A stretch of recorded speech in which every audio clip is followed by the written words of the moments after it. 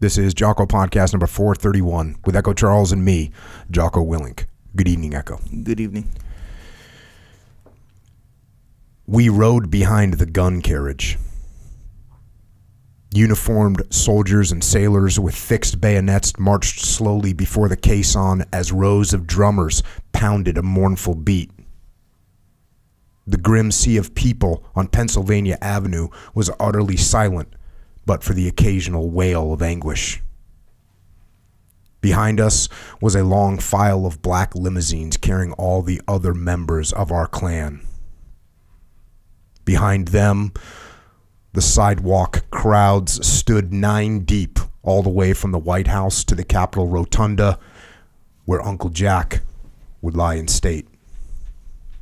Mesmerized, I studied the riderless ebony funeral horse that followed the caisson with empty boots mounted backward in the stirrups. The symbol of a fallen prince looking back over his truncated life. The gelding's name, I learned, was Blackjack, after General Pershing. He was tall with the fiery temper of a thoroughbred stallion, and his, and his rioting against the poor soldier who struggled to cling to his bridle earned the horse national attention over the next two days.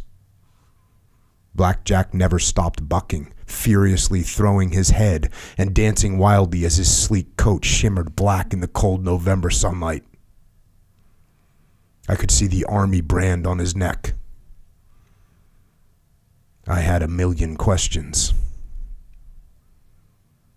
Our mother told us that Jack was in heaven with God, and with God's help, he would watch over us and take care of the rest of the country.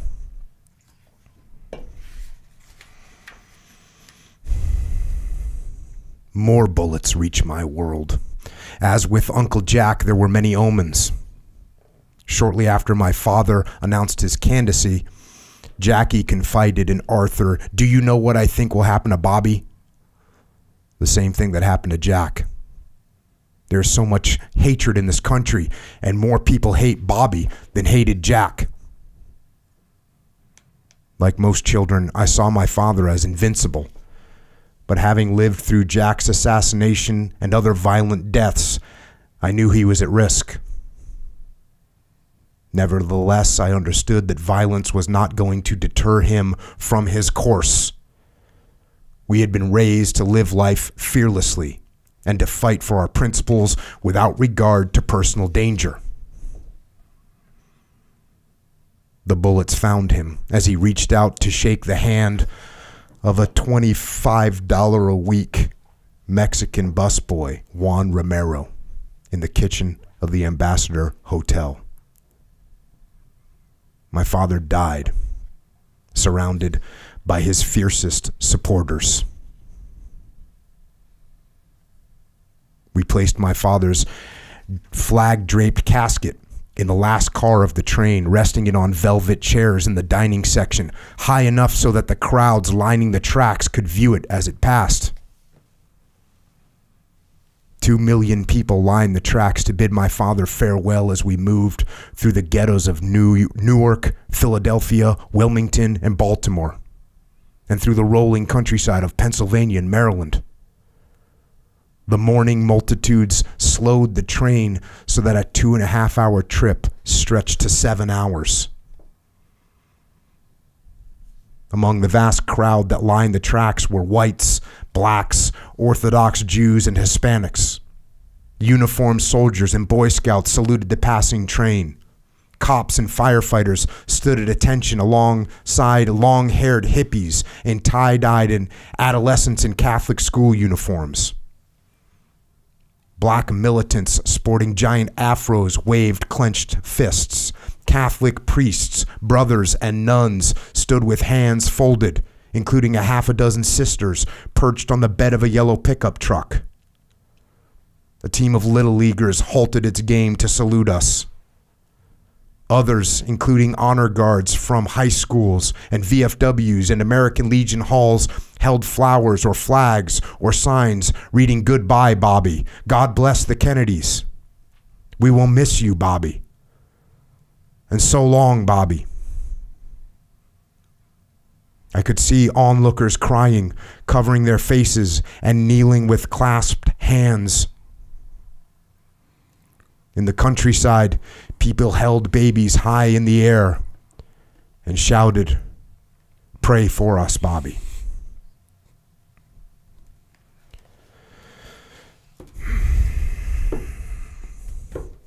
And those are some excerpts from a book called American Values, which is written by Robert F. Kennedy Jr.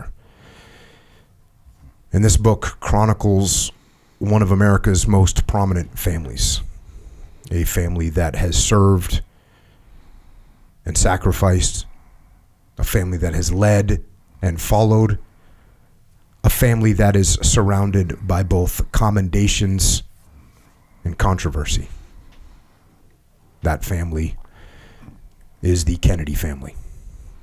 And it is a privilege to have the author of that book, the son of Robert F. Kennedy, the nephew of John F. Kennedy, here with us tonight to share his experiences, his lessons learned, his values, and to discuss his decision to follow his family tradition into the political world.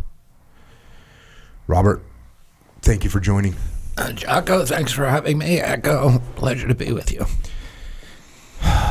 So, I grew up in New England, and uh, I've heard about your family as long as I can remember.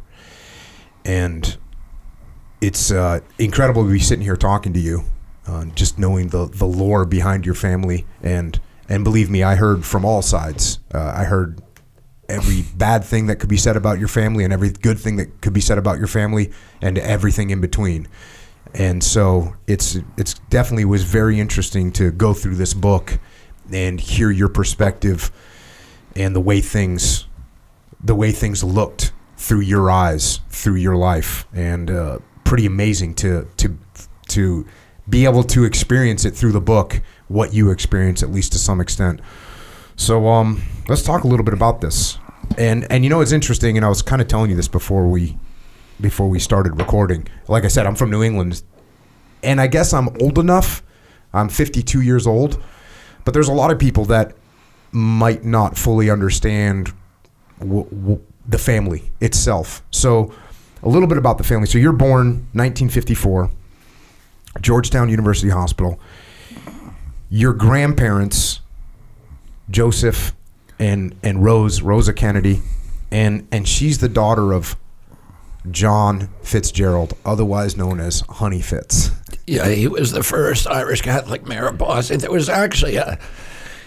He was the first Irish Catholic ghetto mayor. There was a handpicked um, uh, Irish Catholic mayor before him who was kind of uh, a tool of the Brahmins. The Brahmins were, as you know, in, in New England, they're they're kind of they're the Yankee class, the original sort of descendants of, of the Puritans who run New England. Uh, they call the, the, the wealthy ones are called Brahmins. Poor ones are called swamp Yankees. And um, I know you knew a lot of them growing up in Maine. They run the country stores in all those towns and uh, and uh, sell lobster. Um, so, but uh, but my my grandfather Honey Fitz was he had a, a beautiful singing voice, um, and he which is how he got the name Honey Fitz. And he my grandmother, my my great grandmother uh, Josie, whom I spent a lot of time with when I was a little kid, uh, hated politics. And so he relied on his daughter Rose, one of his three daughters, to to escort him essentially to be his escort in political events and she was a beautiful piano player and he would have these famous torchlight parades where he would have mules pulling a flatbed trailer. They had a piano mounted on it. She would play the piano and he would sing his favorite song his signature song was sweet adeline. That he'd sing these patriotic songs and Irish songs, Italian songs, French, Canadian songs to the crowd, and she would play, and then um, he would give a speech, and he was elected.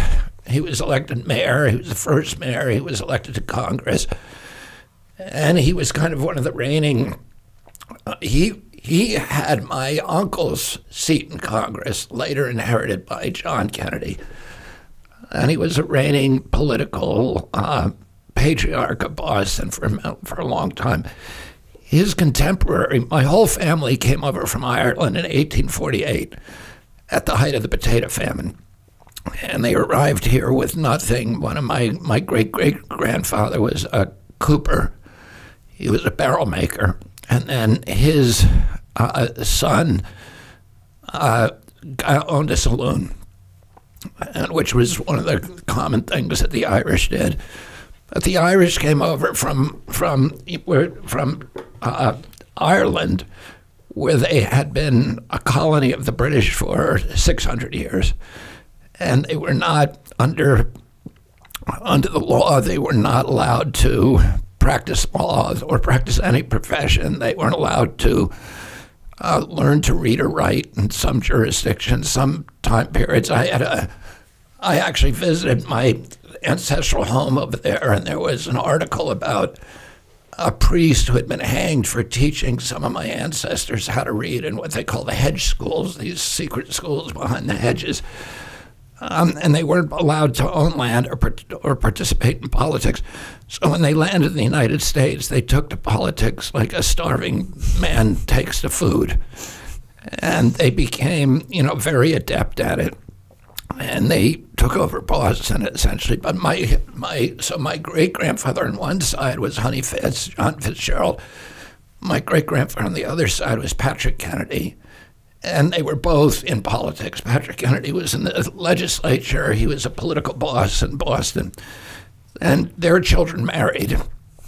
My uh, grandfather Joseph Kennedy was he won the Mayor's Cup for best baseball player in Boston and he ended up going to Harvard. He was one of the first Irish Catholics to go to Harvard. Um, he then became a bank examiner during the great. He was the youngest bank president in the country at age 26, and during the Great Depression, or just before in the 20s, he made a huge amount of money on the stock market.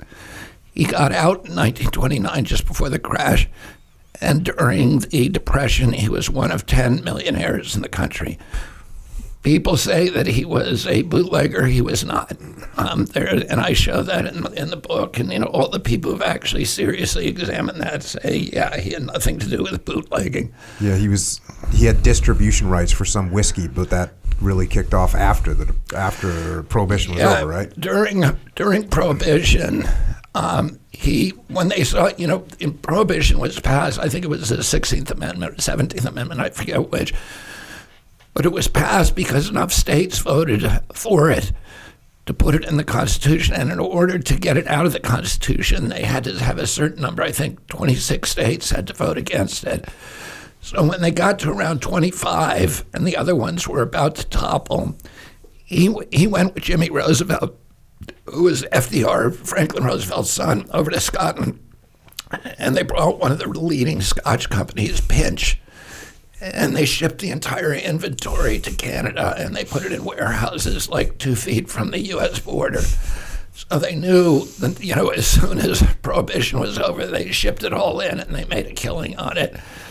And, um, and that was his, invol- his only involvement with. Uh, with the liquor industry. But he was um, he was the first SEC commissioner. He was the only guy from Wall Street who supported Roosevelt. So he was very powerful in the Roosevelt administration, and he became the first commissioner of the Securities and Exchange Commission. He then became the ambassador to uh, the Court of St. James, which is Great Britain. And my um, my his nine children were, were raised at least for those that five year period in England, and that was right at, during the war and right at the beginning of the war. So they, you know, developed a lot of relationships over there. My aunt Kick, who was killed um, in an airplane crash immediately after the war, um, married into the biggest house in England, the Duke of Devonshire. She would, would have been the Duchess of Devonshire. Her husband was killed on the Maginot Line, I think, three weeks into the war. Her brother, Joe Kennedy, my uncle, was killed during the war uh, after he completed all of his. He was in the, um, the Naval Air Force. He was he completed. I think at that time he had to do 42 missions, and then he came home or something like mm-hmm. that. And he committed. Uh, he completed those. He was on his way home, and they asked him to volunteer for what was essentially a suicide uh, mission, which was flying the first flying bomb. So they had developed a remote control the capacity to control the, the controls of a aircraft while it was in the air. They couldn't take it off, but you can control in the air. And so they loaded this plane with bombs, and they were sending it over to the submarine base in Norway, a Nazi submarine base in Norway, and it was supposed to explode on impact.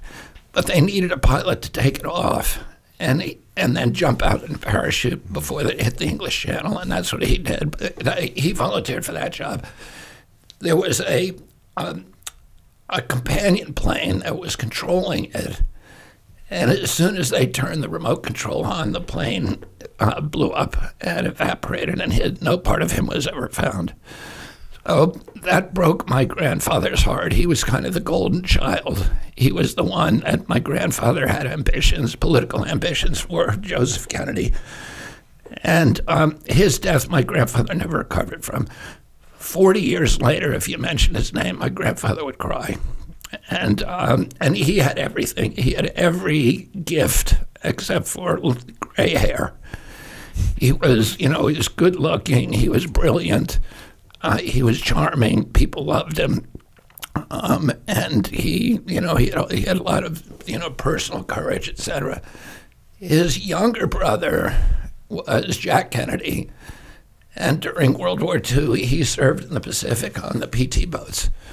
His PT boat was cut in two by a Japanese destroyer in the Blackett Straits near the Solomon Islands. It was a, a corridor known as the Tokyo Express, and his, uh, his, his, his, his boat sunk. Two of his crew were killed. One of them was badly burned. He towed that, uh, the burned uh, uh crew member, I think about six miles, with a lanyard in his teeth. He'd been on the Harvard swim team, so he was a very strong swimmer and he brought his crew to a little spit of sand where there were some palm trees, and they hid from the Japanese patrol boats for the next week.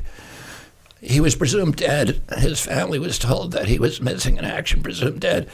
He was hiding in that on that spit of land, and uh, at some point, some Solomon Island natives came by to gather coconuts, and they were climbing the coconut trees my uncle came out of the, the, his hiding place, and the Solomon Islanders didn't like the Japanese. The Japanese were an occupying force.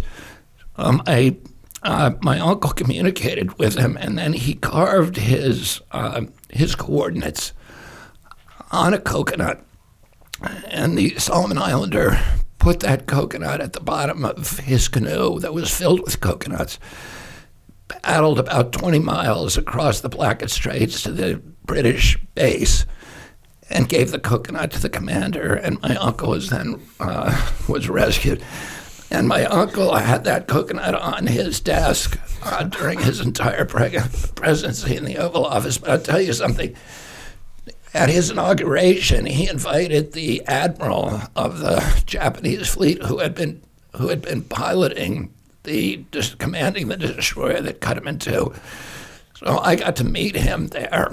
Um, but he also invited the two Solomon Islanders and uh, and the British governor of the Solomon Islands was embarrassed by their appearance because they were barefoot. They never had shoes they were not, I think they were wearing like loincloths or something, and they didn't speak any English. So he did not want to send them as kind of ambassadors from the Solomon Islands. So he picked two more presentable Solomon Islanders.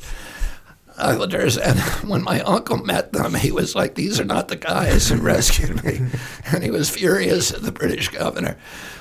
Years later, my little brother Max went over um, with with uh, Robert Ballard, you know, the undersea explorer, who found the Titanic, and uh, my brother was with him. They they went over to find PT 109 and they found, you know, I think the engine block or something. They were not, uh, they were not sturdy craft, and so it, you know, there was not much left of it. But during that trip, he ran into the two Solomon Islanders, who had rescued my uncle, and they were both wearing T-shirts that said "I saved John F. Kennedy," and uh, and Max says that when he met him, he he he he fell to the ground and kissed Mac's feet and he kissed his legs and he had tears coming down his face. And it was just an incredibly emotional um, and very, very moving uh, moment for both of them. Anyway, funny story. Yeah, that's one of the many amazing stories. Um, I want to I want to read a little bit from the book about uh, well about your grandfather, your grandmother, and then kind of what it was like growing up for you. My father, this is what your dad said, Robert Kennedy. My father went on to say of Grandpa, what it all really adds up to is love. Not love as it is described with such facility in popular magazines, but the kind of love that is affection and respect, order, encouragement, and support. He loved all of us. Our awareness of this was an incalculable source of strength. And because real love is something unselfish and inv- involves sacrifice and giving, we could not help but profit from it. His feeling for us was not of the devouring kind, as is true in the case of many strong men. He did not visualize himself as a sun around which satellites would circle, or in the role of puppet master. He wanted us, not himself, to be the focal points. So that's a interesting, or I would say a different take than what a lot of people think. Also, here from the book at Cape Cod, Grandma alternated her afternoon lunches and evening meals with different sets of grandchildren. It took courage to be late for a big house dinner. Like Grandpa, she was prompt and rigid about decorum, elbows off the table, hair groomed, fork placed neatly ne- next to the knife on our plate after dinner, etc., etc. Her love of learning, along with her deep religious faith, were principal remedies against materialism, which she declared eroded everything of value. She was an exemplar of platonic love of knowledge and beauty without the need to possess. Grandma wanted us to be well rounded, interested in every aspect of life, including politics, music, art, science, religion, architecture, history, sports, and languages. Over dinner of chipped beef, asparagus, and angel food cake, she inquired about our summer reading or instructed us on how to distinguish Doric from, icon, from I, Ionic and Corinthian columns. She led us into discussions of topics ranging from local politics to Ap- African topography to Gaelic Renaissance. She would accost us on the compound lawn and grill us about entomology, multiplication tables, or the stations of the cross, or give us spot quizzes on history, astronomy, or religion. it was scary. That's that's definitely a she had yeah. She would uh, she'd read the papers every morning, and she would also read all kinds of other reading material. And if she she saw an article or a poem or a stanza that she liked, she would clip it out and then she would pin it to her her her sweater. So she had all of these clippings, you know, uh, flowing off her sweater. She looked like a Christmas tree, and and uh, and then she would go on long walks every day. She would walk probably eight miles a day, and usually she'd pick up one of the grandchildren to walk with her.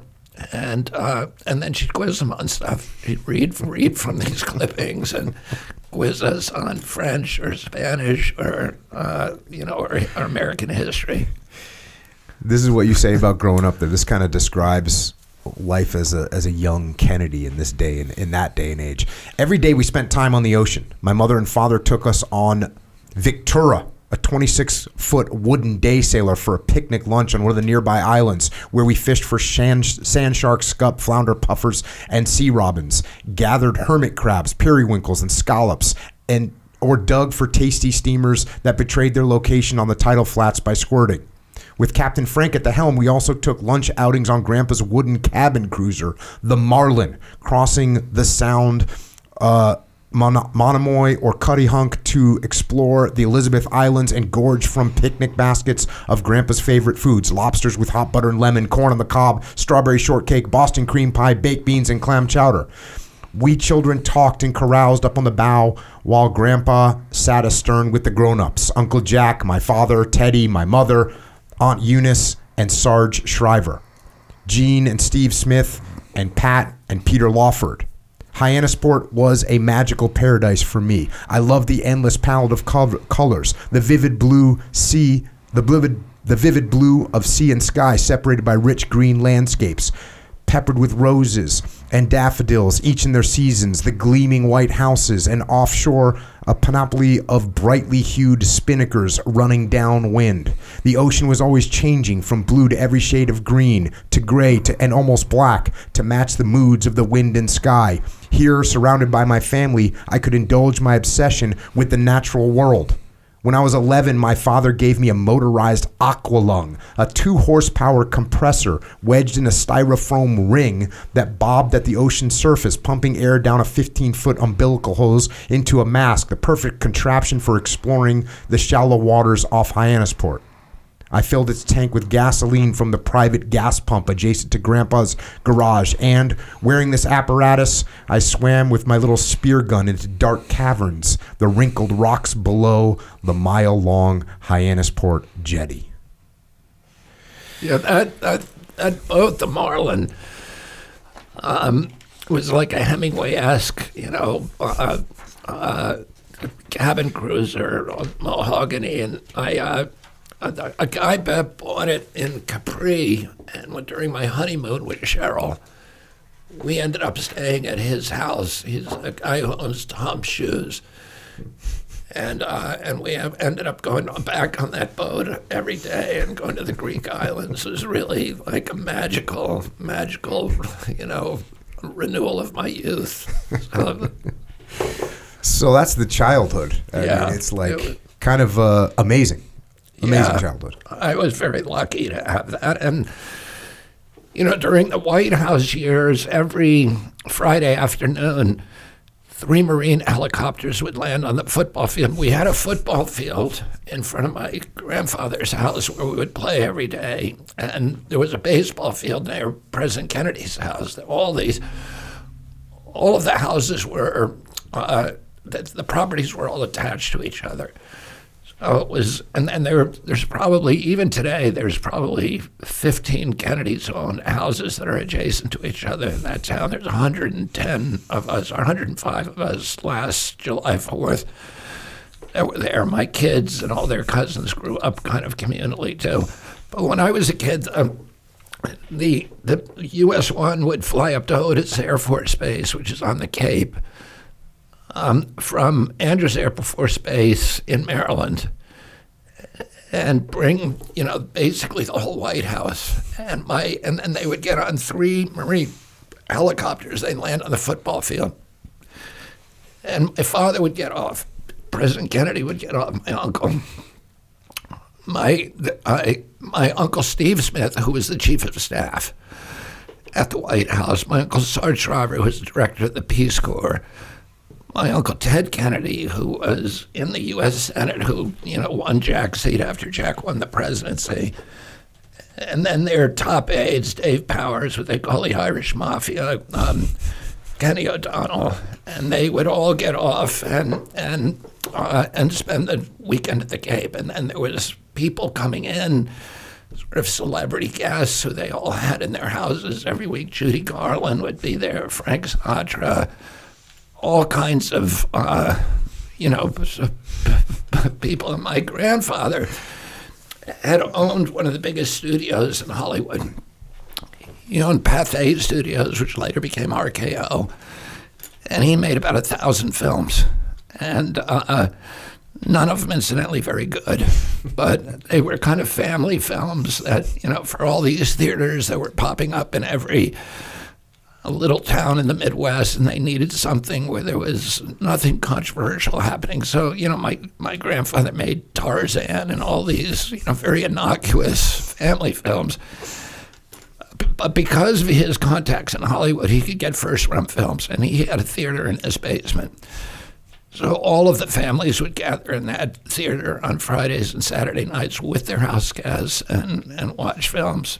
And, uh, you know, after a day outside uh, in the ocean, oh, it was a very kind of magical, idyllic, idyllic childhood. And you're born in 1954, so when when JFK is elected, it's 1960. So you're six, seven years old, something like that. Yeah. So you have pretty good I was, memories of I was things. at the convention in 1960. I was at the convention in Los Angeles. I think there's a picture of me in that book. On the way home from the convention, we, we had a family airplane called the Caroline K, which my, my uncle used as a campaign plane. And I sat in the seat next to him during that ride, and there's a lot of us, you know, talking of, of pictures of us talking intensely with each other on that plane ride. Uh, and he sent me a picture saying, in which that he signed saying, uh, "President gets his advice from all kinds of people," and I love Uncle Jack. And and your dad was appointed as attorney uh, attorney general. Yeah, my father had been my uncle's chief counsel in the mafia hearing. I had attended the mafia hearings. I saw him grill Sam Giancana. I saw, you know, uh, Joey Gallo. I was there when that happened. My mother would come and we'd sit in the front seat. So my father then in 1960 became the campaign manager for my uncle. And when my uncle won the presidency, he appointed my father to be attorney general. And, um, you know, my father then, you know, they then kind of got introduced. They were, he originally was really targeting the mob as attorney general. That's what he was interested in. He, by 1962, civil rights had been their, became their biggest priority. You're uh, once your once your dad becomes attorney general, then you guys move to a different spot um, called Hickory Hill. Well, we, we had moved there when I was two years old. So we moved there Oh, in okay. 56. Okay, so you've been there for a while. But all the all the time up at Hyannisport was in was in the That's summertime. in the summertime. But the winter, we were always in Hickory Hill. Hickory Hill had been what was an antebellum house. It had been General McClellan's house during the Civil War, so it was it was kind of Union headquarters, and there was all kinds of Civil War artifacts that we could dig in the yard. That my brothers and I, when we came home from school, we'd get shovels and just dig up the yard looking for stuff. Um, and- Apparently, the Green Berets came and, and built like a ropes course as well. You they, mentioned that. They the built a ropes course, which is still there, by the way. I Oh, was there recently, and uh, they built a really a very dangerous ropes course, and we had a lot of people going to the emergency room. They had a uh, they had a they um, they had a, a zip line and went from the top of Hickory Hill down into a grove of pines and. There was no real way of stopping it unless somebody grabbed a tail rope on it before it hit the pine tree. And a lot of people got hurt, including Muhammad Ali, who got his face really wrecked in those pine trees. from the from doing the zip line. Yeah, from doing the zip line. Okay. Uh, you also say in the book here at Hickory Hill, my life revolved around the seasons. In the springtime, it was rare not to come across a box turtle with its blood red eyes and brilliant patterned shell, or butterflies of a dozen species producing explosions of colors as they danced among the wildflowers. Once teeming populations of bats, honeybees, amphibians, and flying insects have now dwindled to obscurity in northern Virginia. But in those days, we could capture bats by lofting a bandana draped stone high into the twilight sky and netting the flying mammals as they chased the floating hanky down to the ground.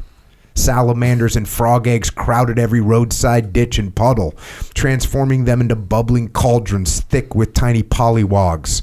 On weekends, I wandered nearby streams with David and Michael and my sister Carrie, searching for frogs and crayfish, snakes and mud puppies, or spent time with my little brothers digging in the yard for Civil War relics. In the summer, honeybees covered the clover in our yard, making barefoot play a hazard. David, Michael, and I would capture a dozen or so in a jar, then let them go one at a time, triangulating them to track their hive, and then smoking them into sedation to get the honey without too many stings. On autumn weekends, we would often visit Camp David. While my dad conferred with Uncle Jack, we explored the mountain woodland, sometimes with Secret Service guards turning over logs and rocks, capturing red and dusky salamanders. Winter in those days still brought snow to Northern Virginia. David, Michael, and I spent long days building bobsled runs on Hickory Hill or skiing at a neighborhood neighboring farm that operated a small ski tow. We played pond hockey or practiced barrel jumping on skates, a once popular sport that seems to have lost its mighty grip on the American imagination. Do you remember the days of barrel jumping? No, I never have barrel jump. I'm not quite that old. I've seen pictures of it, and actually, you know, skateboarders. It was a crazy sport. What was it? You just line up barrels and jump them? Is Yeah, that the deal? how many you can jump with skates on. no wonder it didn't last very long.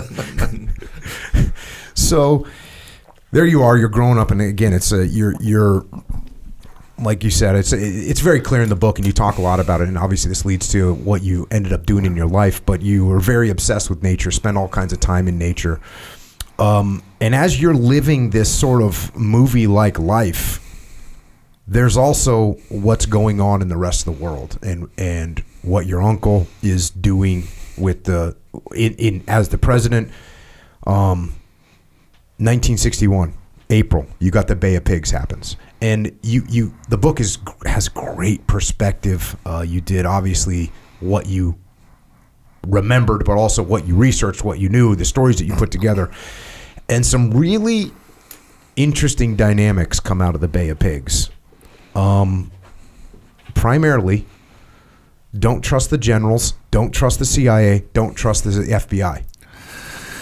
Yeah, my uncle was lied to by, you know, not only by the CIA, by the three top officials of the CIA. Um, Allen Dulles, uh, Charles Cabell, who was the general, the military guy at the CIA, and Richard Bissell. And over the next year, he fired them all because of the Bay of Pigs. Uh, during the Bay of Pigs, he, they had lied to him. You know, Nixon had planned the Bay of Pigs. Nixon intended to be president at that time.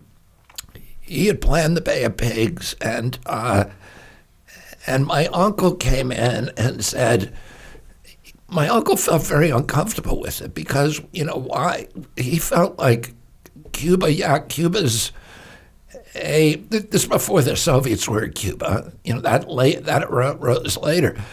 But he said, "Yeah, we don't like the government in Cuba, but you know it's a little tiny island, and we we don't get to choose what other people have as their government." And he also he had grown up going back and forth to Cuba from Palm Beach. You know, they'd get on a boat and go over there and go to the casinos and stuff. And he knew that Batista was, uh, who was, you know, who was overthrown by Castro, that Batista was a nightmare and that the ma- he invited the mafia in to run the island and he was oppressing, torturing people. And he was, he understood that Castro had been revolting against something real and that the U.S. was involved in that. So he had a more nuanced view of it and he didn't think America, he didn't like communists, but he didn't think America should be telling other countries, should be bullying other countries into telling them what kind of governments they should have. And uh, Cabell and Dulles and Richard Bissell said, look, we've already armed these guys. They're trained. They've got, you know, weapons and they're they're dangerous. And if you keep them here, it's going to be a huge problem. You got to let them go. And these were these were Cuban nationals that were in America training to go back and invade. Yeah. And they were all kinds of people. Some of them were became very close to my dad, particularly uh, one called Harry Ruiz, who was spent a lot of time with us as kids. He went on. He, he had been an engineer. He had been with Castro in the Sierra Maestra. So Castro had come over in I think '57 from Mexico. And they I, actually, I talked with Castro. I, I spent a whole day one time. I spent a lot of time with Castro one of the times I visited him with Cheryl and my kids, and we spent a whole day at his house talking about everything, including the assassination, everything. And um, you know, he's a he's a really interesting guy, and but he said he told my son Aiden, who was then about ten years old, was asking him about because we had the day before we went to the Cuban National Museum and we visited the the uh, the grandmother, which is the big ship, which is in the museum now. It's the it's a cabin cruiser. I think it was like sixty foot cabin cruiser. That they had come over, they had gotten a hold of that. There was a bunch of revolutionaries, uh, Cuban revolutionaries, training in Mexico, and they had all come over in '57 and landed on the beach. There's 63 of them had been on that boat. My my son Aiden said to him, said to Castro, "How did you decide which guys would come? Were they the ones who were most, you know, fervent about communism?" And Castro said, "No, we just brought the smallest people because we wanted to, to fit as many as possible on." They were ambushed on the beach and 11 of them made it up into the mountains to the Sierra Maestra. And from there, those 11 people created the Cuban Revolution. Three years later, they marched into Havana on New Year's Day and, you know, and took the country. It was really an extraordinary story. And, um, and, but one of those guys was a guy called Harry Ruiz, who was an engineer. He was, he was just, he, he didn't like Batista. He wanted democracy he had been very close to Castro, but um, when Castro had declared that that uh, Cuba was was going to be a Marxist society, he had turned him against turned against him, like many of the people who had been in the revolution with him, and gone over to the other side. He had fled to the United States, and then you know was part of this this Bay of Pigs. Some of the other people were just um, they were people who were involved with the mob, um, which was running the casinos, or they were like bad actors from Batista's army. They were, you know, officers who were like bad guys. They were like killers, torturers, those kind of. So it was a whole mix of people. But a lot of them were very idealistic. My uncle didn't want any part of it um, because he thought the U.S. cannot be involved in overthrowing the government of another country. That's not what we do as a country. So, uh, so he was skeptical, and they originally their plan was to have the U.S. Navy use amphibious vehicles to drop the men off, and he said, "We're not going to do that. The U.S. government can't have anything to do with this." So they ended up getting a bunch of ships from United Fruit Company which owned all the sugarcane fields in, in that had been nationalized by Castro. Oh, they're the ones who dropped him, you know, who dumped him on the beach. My uncle said, um, I want to make sure that you don't expect air cover from the United States military because you're not going to get it. And Dulles said, Don't worry when we land over there. My uncle said, How's this going to work? Because Castro has an army, 200,000 men. How are you going to get 1,200 men to overthrow him? And they said, We have the whole thing wired. That as soon as they land there, the, the, the, uh, the nation is going to rise up. We have people from every sector of the country who are going to rise up and overthrow him. So they were just lying to him. They also, he also, you know, he knew a lot about military operations. And he said, You're landing on a beach here. It's not like when Castro came and landed in the mountains where he could go hide. There's no place to hide here. It's a beach with a swamp. And they said, Don't worry, we got the whole thing under control. So as soon as they landed there and Castro met them, he knew they were coming. And they were dying on the beach. Um, Dulles went back and said, We need air cover. And my uncle said, No, and my uncle later said to his aides, they wanted, they thought that I was a young president who would be terrified of, of having this, you know, this terrible failure, and would give them the air cover and send in the Essex, which was the aircraft carrier. And he and he said he wasn't going to do it. He took public blame for the Bay of Pigs invasion, but privately he said to his aides, I want to take the CIA and shatter it into a thousand pieces and scatter it to the winds. Then after that, he fired Bissell, Cabell, and um, and uh, Dulles. And he tried. He wanted to appoint my father to run the CIA because he recognized the CIA was a huge problem for our country. And um, my grandfather said, "You can't do that. You can't have your brother as the head of the spy agency. It's just it's, it's got a bad look to it. The optics are wrong." And he said it'll be like Stalin and Molotov if they were brothers. You know, they essentially were brothers. Um, but you know, you, you you could turn that spy agency against the American Republic pretty easily, and you've got to make sure you know to have some daylight between you and the between the president, the executive, and, um, and the spy agency. So they brought out a guy called John McCone, who was a very pious Catholic, and he was a Republican conservative and they were confident that he would end the monkey business over there. But in fact, McCone uh, never knew what was happening there. Nobody ever told him what was really, you know, happening at the CIA. And it, you know, the indications are Dulles continued to run it from a distance. And when my dad, when my uncle was killed in '63, um, I came home. At the first thing my father did was to call the desk officer at the CIA and say, Did your people do this? That was his first instinct. The second call he made was to Harry Ruiz, this Cuban who was at our house all the time. And he, Harry, Harry was then in Washington, D.C., with a, a famous writer who'd written a book about the Bay of Pigs, a famous American journalist. They were both in the hotel room, and my father said the same thing to him Did your people do this? Was it the Cubans the CIA Cubans. And then um, I came home the, early that I, was pulled out of school. My mother picked us up. I was brought home with my brothers from Sidwell Friends.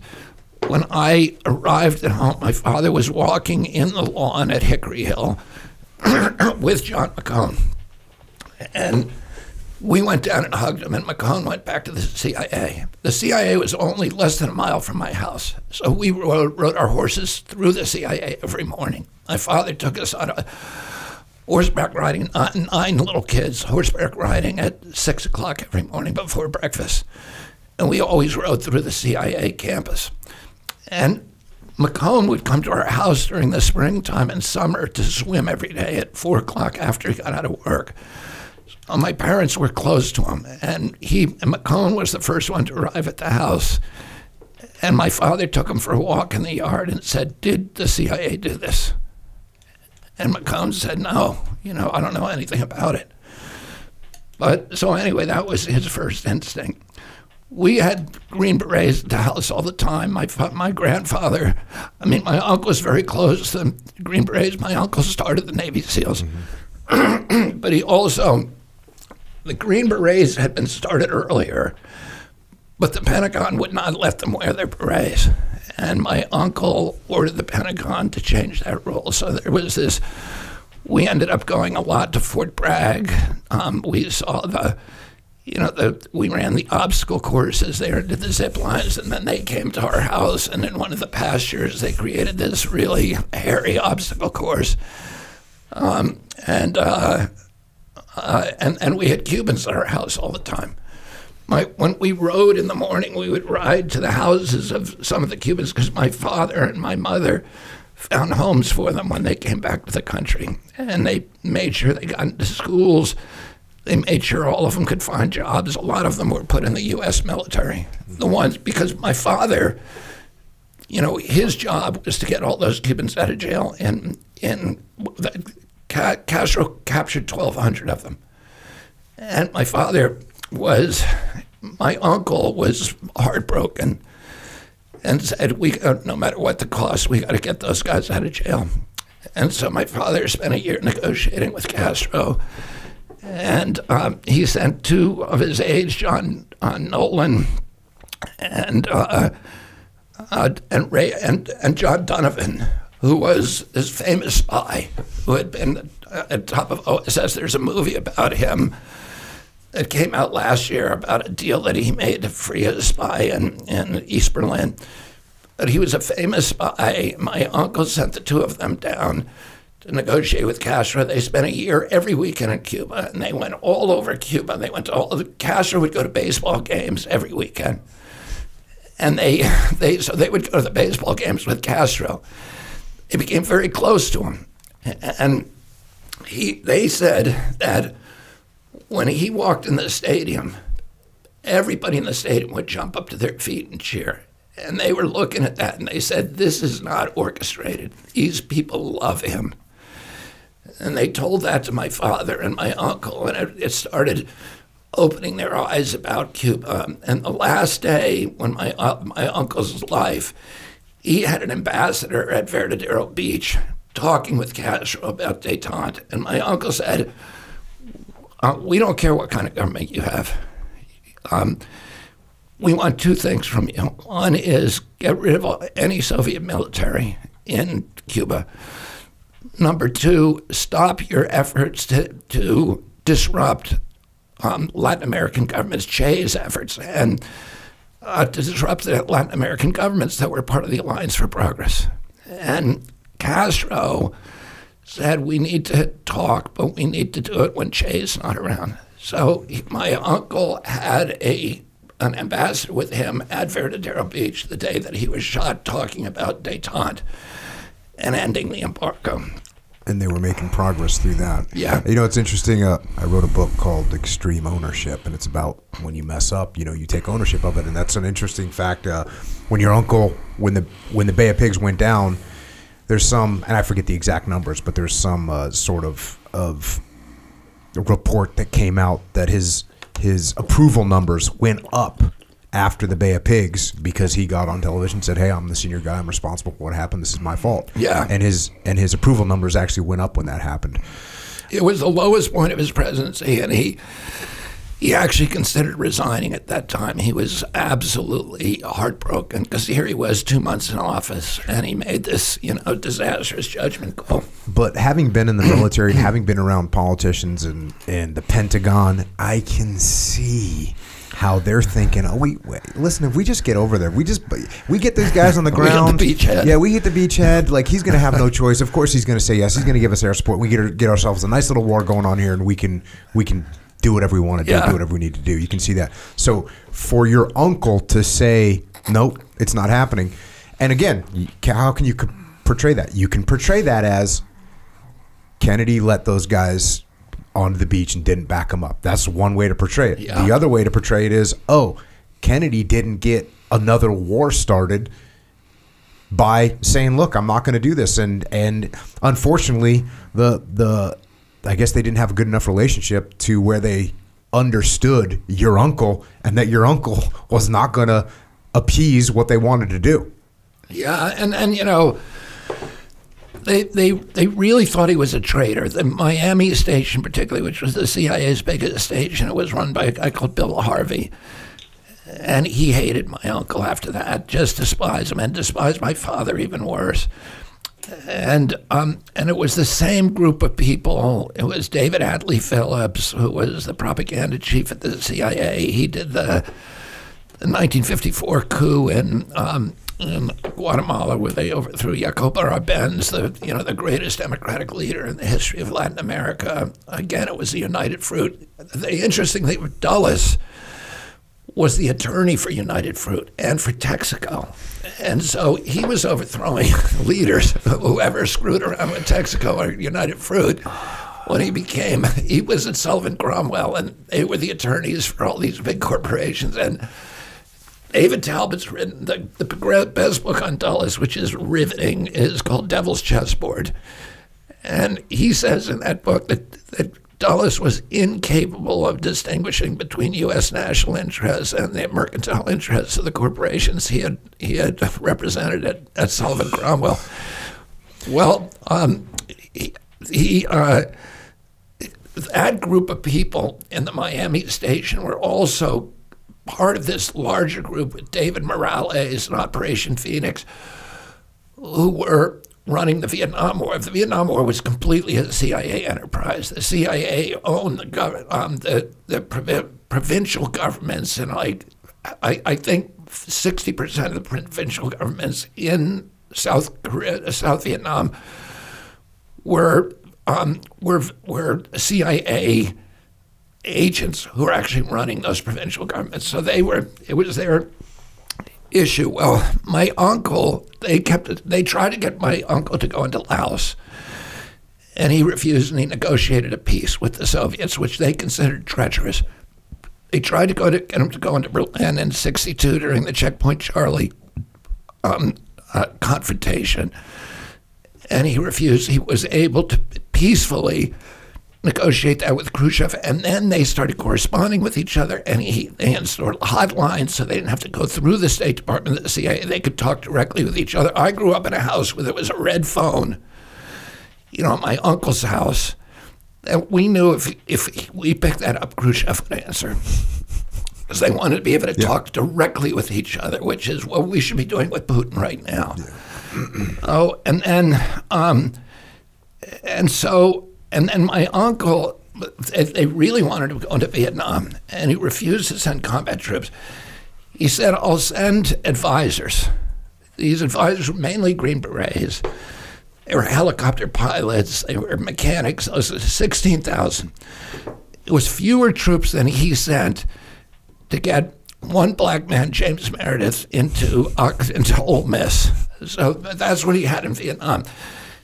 And he heard that a Green Beret in and I, on October 22nd, uh, 1963, he heard that a Green Beret had been killed in Vietnam.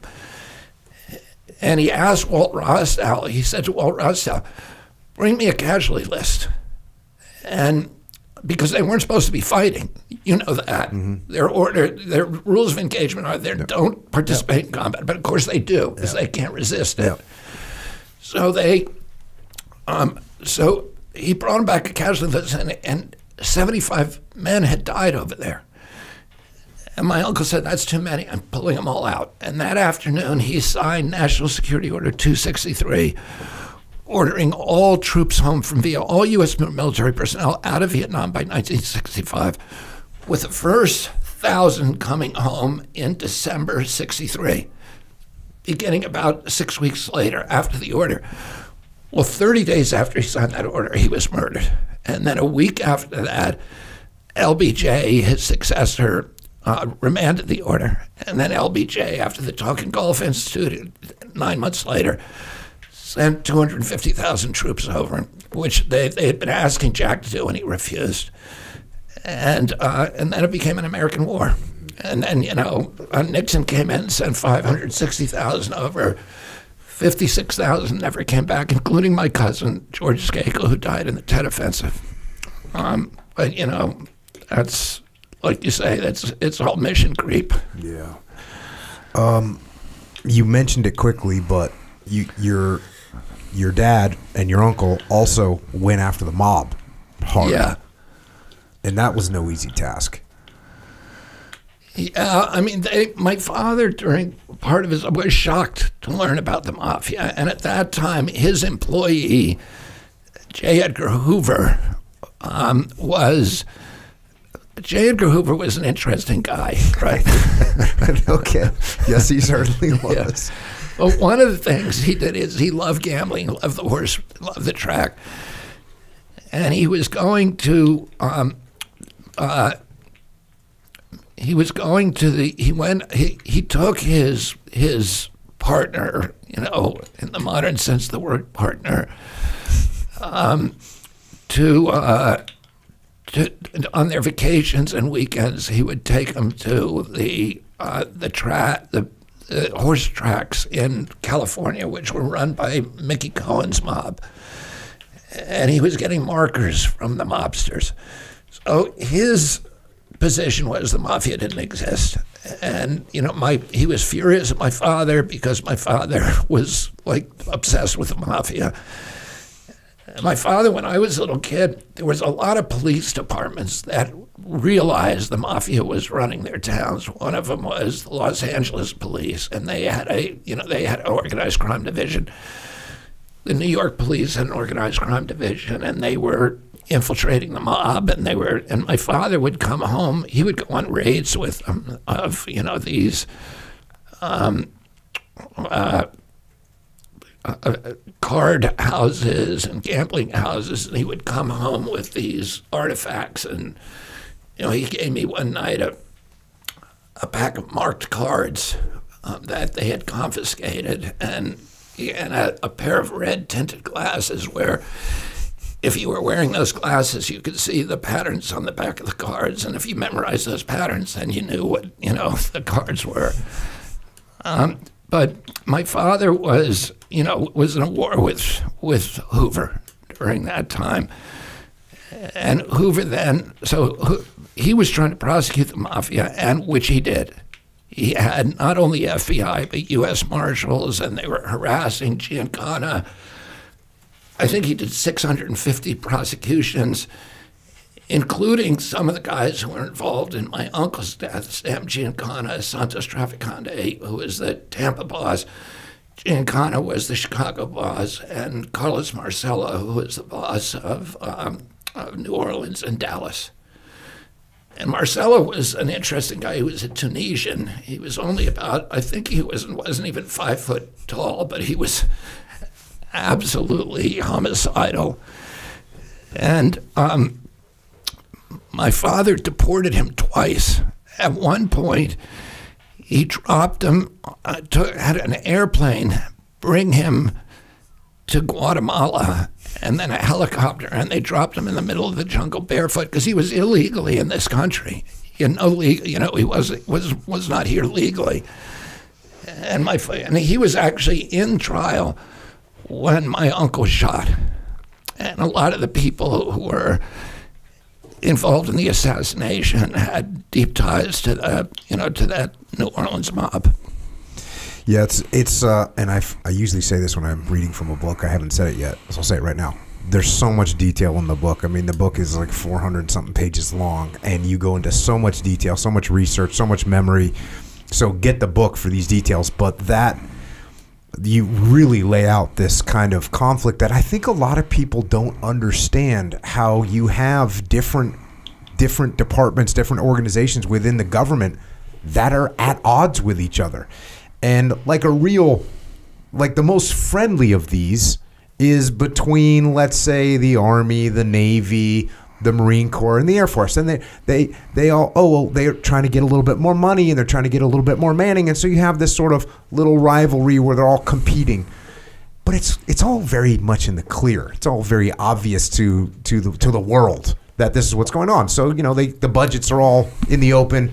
But when you start talking about the FBI, you start talking about the CIA, you start talking about the marshals and then you throw in the mob and you throw in the Cubans. it is like it is it is it's mayhem. It's mayhem. And so that's what your uncle was up against and brought your brother in as well to to go against but it's it's you have all these competing and it's not really just competing for money they're also it's competing ideologies and so you had J Edgar Hoover who like you said was an interesting person and he's got his ideology that he's trying to protect and and push, and that goes against what what your uncle's trying to do in a lot of cases. And you brought up, you know, and this is a huge part of the book and a huge part of your your family's legacy as well, and that is the the civil rights movement that's happening.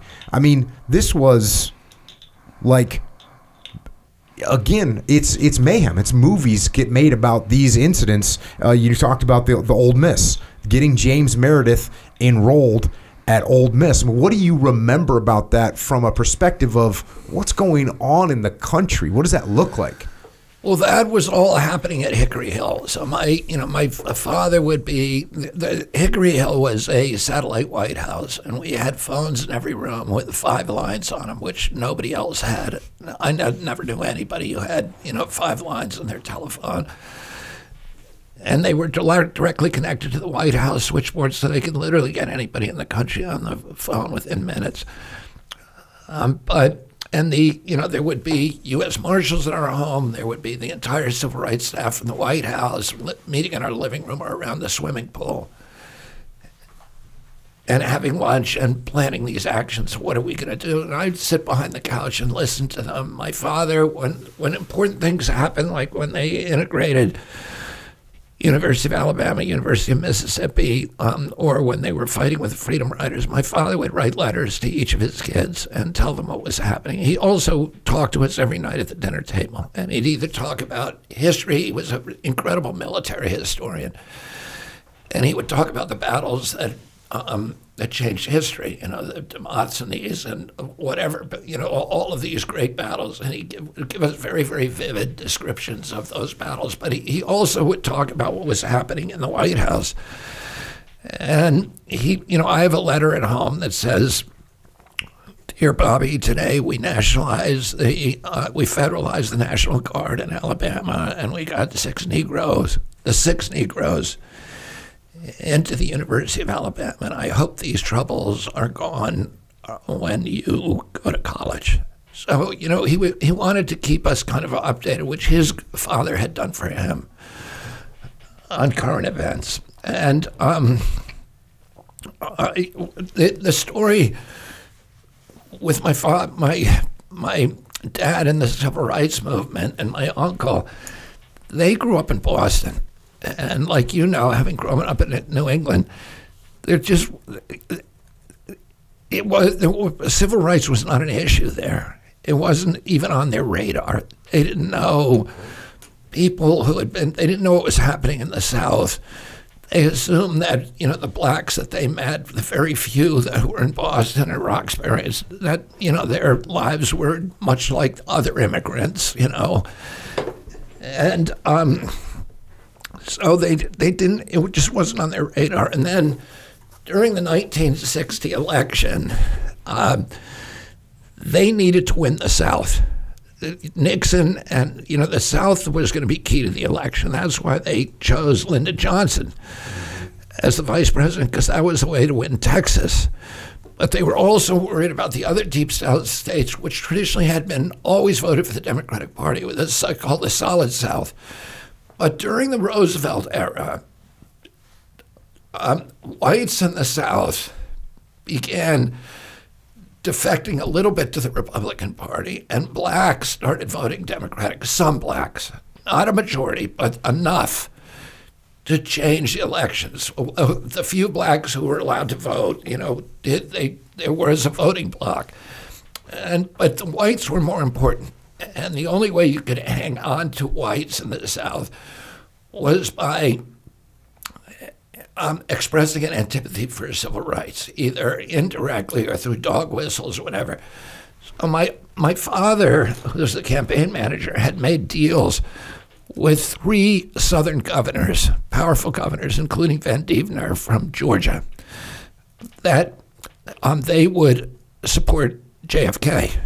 And but all of them had said, if you get involved with Martin Luther King, we're gone, we're out because we can't stand up for we cannot stand that take that from our own constituents.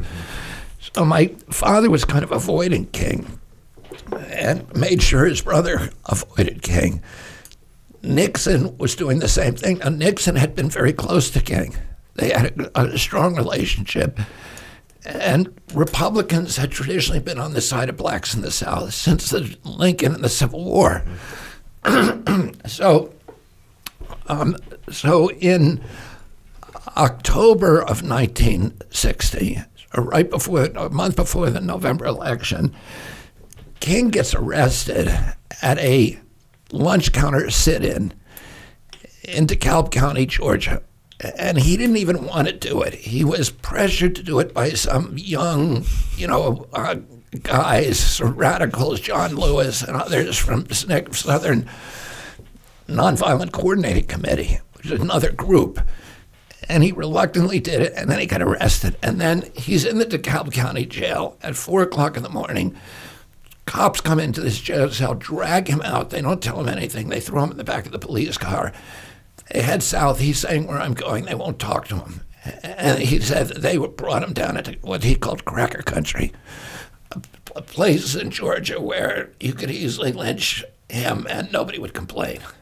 So um, he and what they were really doing, they bring him to a state prison and they threw him in the state prison, but they didn't tell Coretta, his wife, where he was, and she was terrified. So she called Sarge Shriver, my uncle, who was always involved in the civil rights issue, and they, she said, I tried to talk to Nixon, who's then vice president, could have helped her.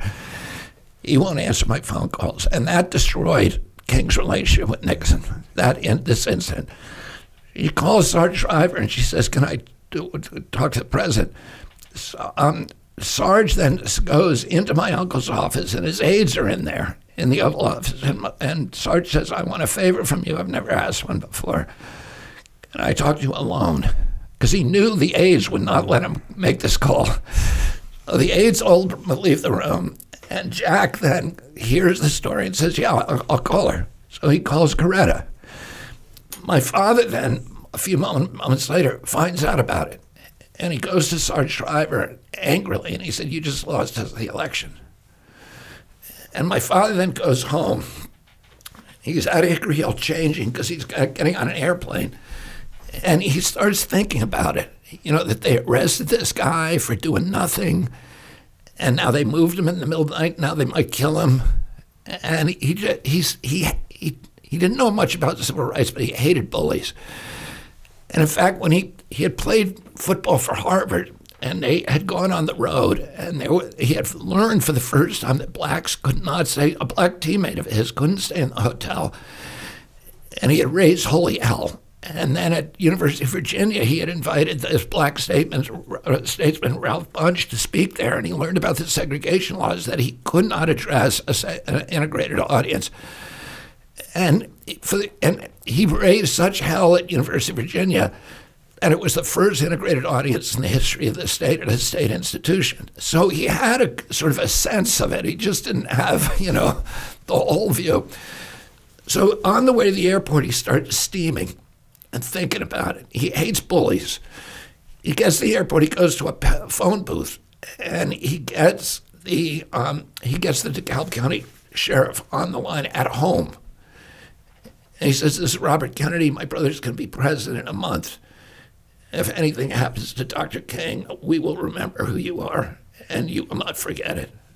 And then he calls the judge and says, you know, says has a similar conversation with him, and he gets Jack to call the governor. And uh, Jack calls Vandiver and says, "Can you get him out of jail?" And Vandiver says, "I don't think I can." And Jack said, Well, listen to what I'm saying. I want you to try, and then I want you to tell me, call me back and tell me what you have done. And the next morning, King was released. So King never made an endorsement, but his father, Daddy King, spoke, I think, at the Dexter Avenue Baptist Church that weekend on Sunday, and he had previously endorsed Nixon, and he changed his endorsement to Kennedy, and that word spread throughout the black community. And my uncle won the black vote. And because of that, he won the presidency because it was the narrowest margin in the history of our country at that time. So um, I think that was one of the things that kind of cemented the relationship, and then they be, just became partners with King in the civil rights movement. They, um, you know, they did the 1963 March on Washington with King. They handled all the arrangements, uh, and uh, that was the that was the famous speech where King says, you know, I have a dream, you know, I have a dream speech. Um, and then my father had a very close relationship with King after Jack died, and and you know when King was killed, my father gave this impromptu speech to the um, in the Black Ghetto in Indianapolis, and that was the only city that didn't riot that night, and it's attributed to the speech that my father gave. And before King died, my father and King um, uh, collaborated on the Poor People's Campaign, which was to summons all the poor people in our country to Washington, D.C. And when the day that we, you know, we buried my dad, we drove past these encampments. There were 10,000 men encamped on the mall in Washington, D.C., and who, you know, both my father and King, who had died two months before, had summons there, and now both of them were gone. Um, re- rewind just to rewind a little bit. You talked about LBJ. You talked about Vietnam. Um, one of the quotes from your uncle was, "In the final analysis, it's their war," and that's why he had decided to bring everyone back from there. LBJ, I don't like LBJ. Um, I, I guess if, if I'm allowed to not like someone that I've never met before, I, I, I don't like him, and I also throw into that basket um, McNamara. And in the book, you seem to shine a light, a, a friendlier light on McNamara than I do. It, it, it seemed like maybe McNamara um, was trying to do his best to control LBJ and just he felt like if he didn't kind of go along with what LBJ wanted, LBJ would just get rid of him and someone else would. and drop a nuke on North Vietnam. Yeah. He, I mean, that's always a dilemma, and you know, it was a dilemma for a lot of the people who um, who said who were criticized for staying with Trump. You know, then who said no, I stayed there because it would have been so much worse, or other presidents. You know. Um, so I, you know, I, I don't know. History, I think, is history judges him like you do very harshly, and I think that. Did you see the movie Fog of War? Yes. And what? How did you think he came out of that? I felt the same. I really he felt. Ter- he looked terrible. I, yeah, I and I I just yeah when I when I look at the Vietnam War and the books I've read and um, McNamara's what is it McNamara's Follies I think is what he lowered the the the mental or the uh, the acuity score.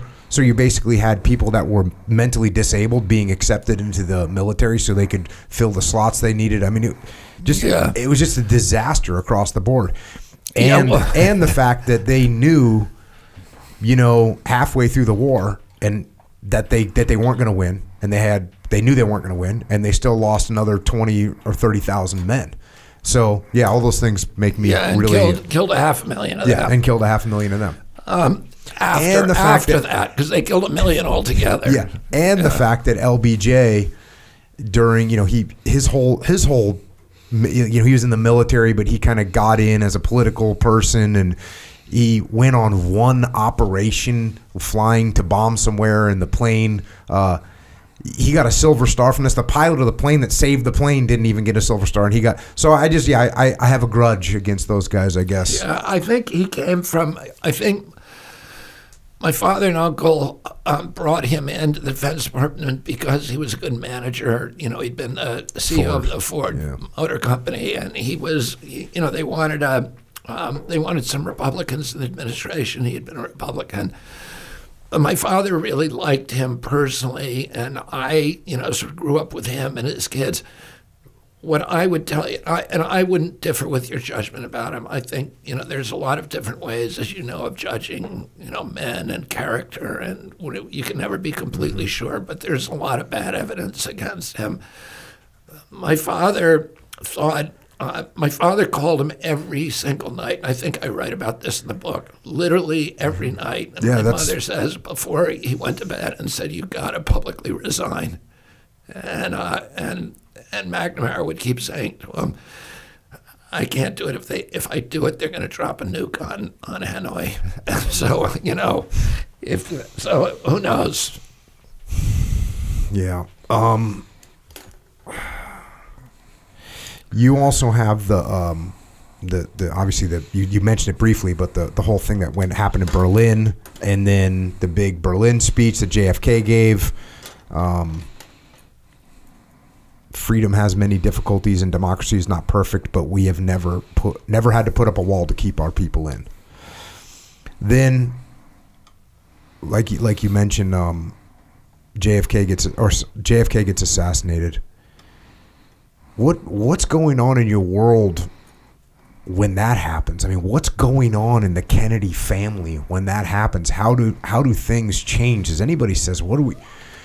Does it does it strengthen our resolve? You know, I I, I have a friend that's a ER doctor, and he always tells the story uh, that if a family has problems and and something tragic happens to the to the to the family like they someone gets killed if the family has some fissures it can either explode the family and they come apart or it can actually make them tighter and stronger and strengthen their resolve it would appear from the outside that it strengthened the resolve of the family when your uncle got killed.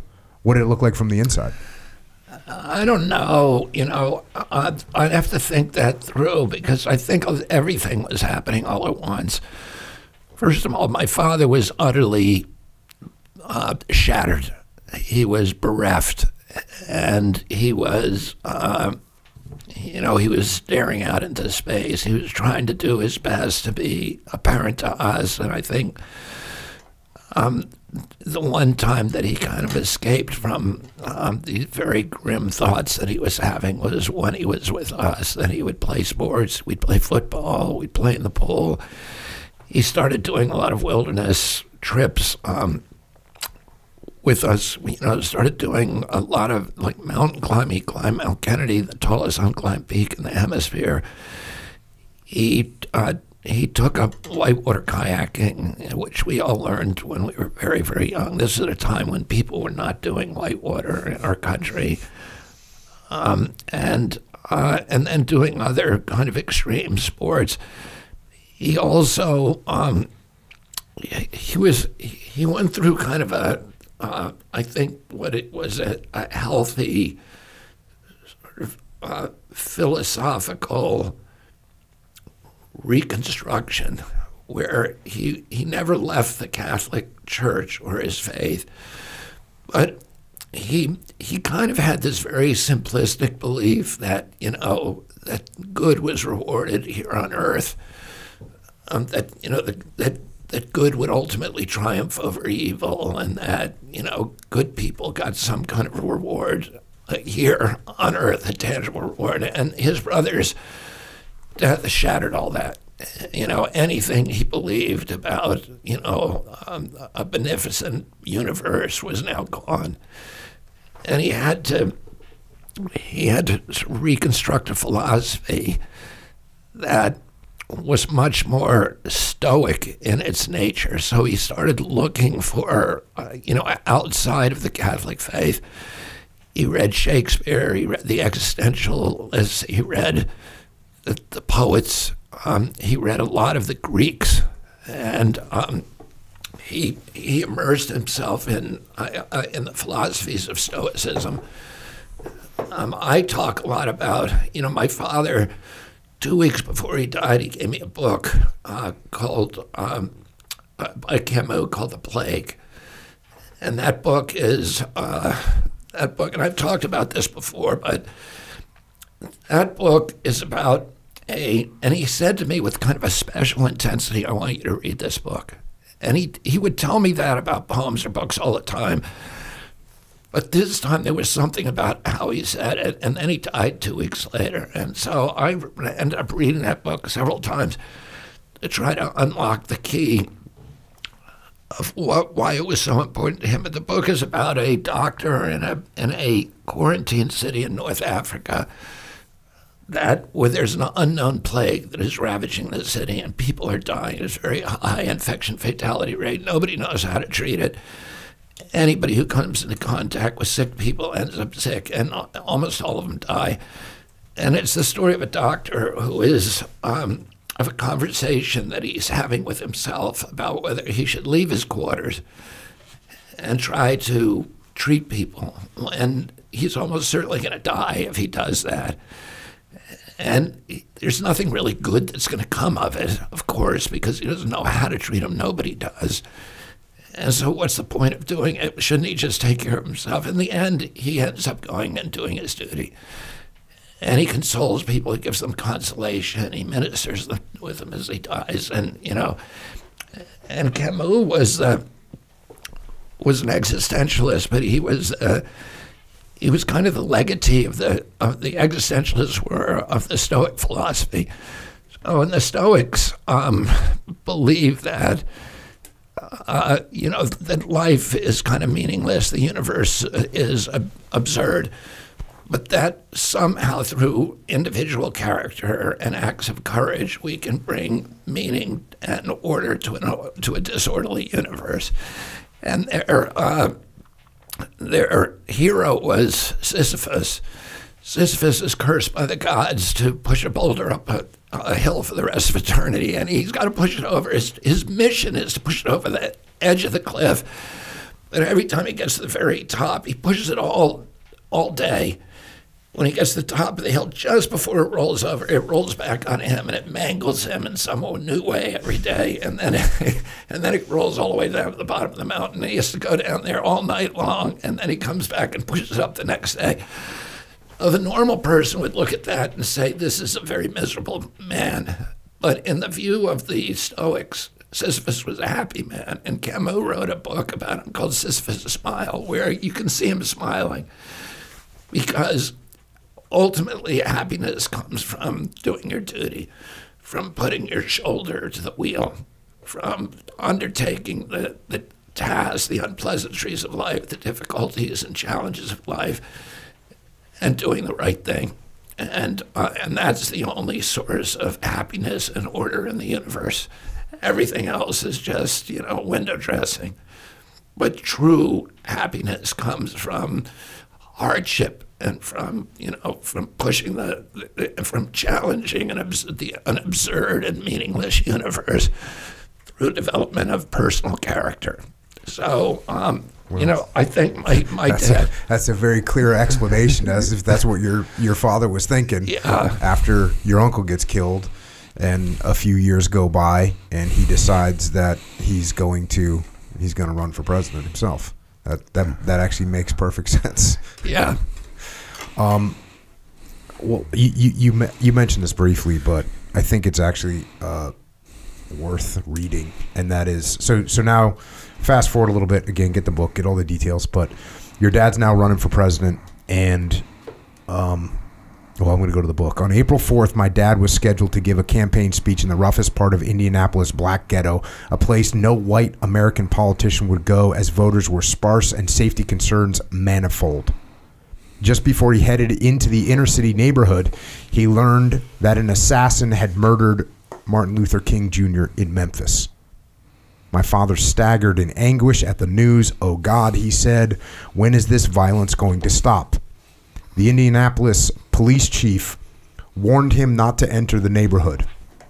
When my father said he was going in, the captain withdrew his police escort. Most of the electrified crowd were unaware of the tragedy as he climbed on the flatbed to address them. The night was cold. I have bad news for you, for all of our fellow citizens and people who love peace all over the world. And that is that Martin Luther King was shot and killed tonight. The crowd gave a collective gasp of horror. Then my dad went on to speak directly for the first time about the circumstances of Jack's death. His brother was killed by a white man. Speaking from the battlefield of his own psychic struggles, with a calm but breaking voice, he urged everyone, quote, not to be filled with bitterness, with hatred, with a desire for revenge. We could respond with violence and polarization, he said, or we can make an effort, as Martin Luther King did, to understand and to comprehend and to replace that violence, that stain of bloodshed that is spread across our land with an effort to understand with compassion and love. My dad's Indianapolis speech was not an artful, rehearsed, oratorical masterpiece. It was an anguished, visceral expression of shared agony. He had never spoken about his brother's death like that before. The crowd sensed he was doing something unusual and gave them gave him their hearts. Indianapolis was one of the few cities with large black communities that did not explode in riots that night. 119 other cities were not so fortunate, and President Johnson deployed 75,000 soldiers to quell the violence. Casualties included 2,500 injured and 39 dead. From our boarding school in Rockville, Maryland, we watched smoke rise over the Capitol and troop trucks roll past all day.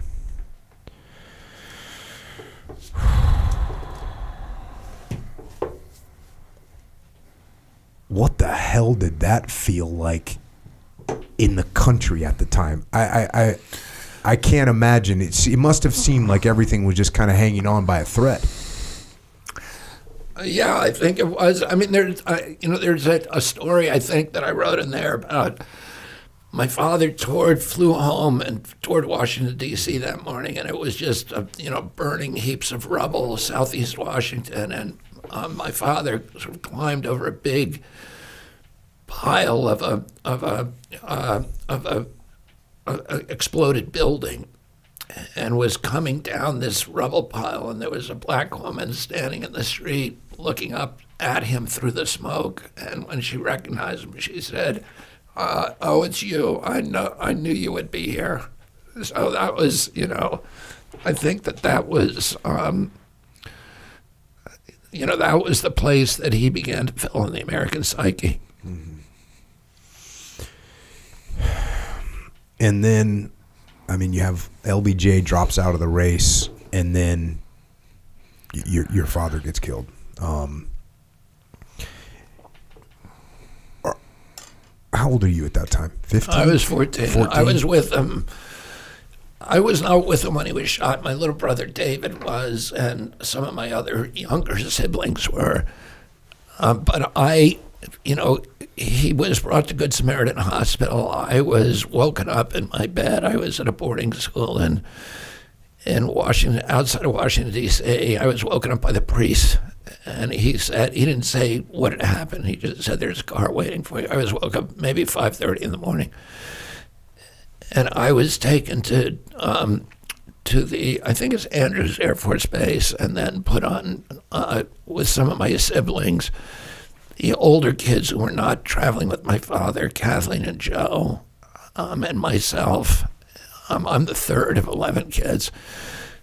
Um, that we were sent out in Hubert Humphrey's plane, who was the vice president, to uh, to Los Angeles, and my father died that night, so I was with him when he died, and then we brought him back to um, to Washington. We brought him back to to uh, to, to New York, and I, it was interesting. I mean he had he didn't have police protection. He didn't want protection from the LAPD because they were very racist, and the, in the black communities which were supporting him, they were hated.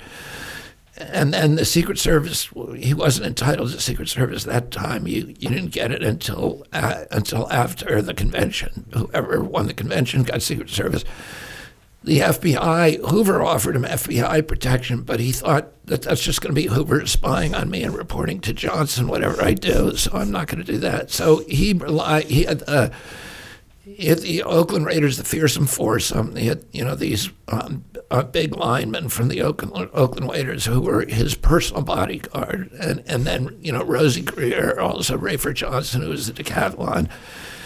And then when he went on the road, he had this odd assortment of escorts. He had uh, Black Panther Party, which was acting as his as his bodyguard, and uh, and the Hell's Angels.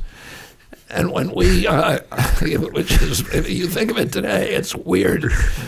But I remember when we took off they they all rode their bikes out onto the runway and they were kind of like escorting you know us 2 which you know of course today you couldn't get away with but back then the runways were very accessible and so you had about 100 bikers on the runway and well, I don't think they'd ever understood how a plane engine worked, but when the jet took off, it was it blew a bunch of them off their bikes, and we were watching from the plane windows, and that was just one of these little things that vignettes that you know, in a very weird period, we flew them to New York, and we waked them at St. Patrick's Cathedral. I remember, you know, I was one of the pallbearers who we brought him down, and it was Fifth Avenue was just jammed. You know, people eight or nine foot, even the whole length of Fifth Avenue, Fifth Avenue, that part of Fifth Avenue, and we the coffin was very heavy, and we brought him down the steps there, and uh, there there was a crowd of blacks who were singing um, the Battle Hymn of the Republic, Glory, Glory, Hallelujah as we came out, and uh, this this very very large black woman stepped, you know, in front of the coffin as we were we were trying to lug it down the, that staircase. And she collapsed on the stairs and she was waving a handkerchief at the coffin saying, you know, you've done your best, you've done your best. It was very, you know, emotional. And, uh, you know, you can rest now, she was saying.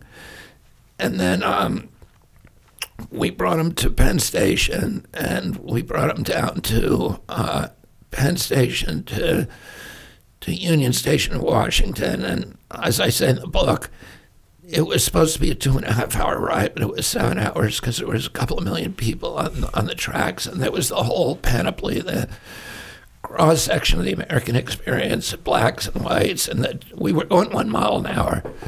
The windows were all open on the train. The people on that train, you know, Arthur Schlesinger later said would have made the most interesting government in American history. They were poets and economists and you know civil rights activists and Indian rights and Hispanic rights and um, you know some of the great musicians and poets um, in the world at that time.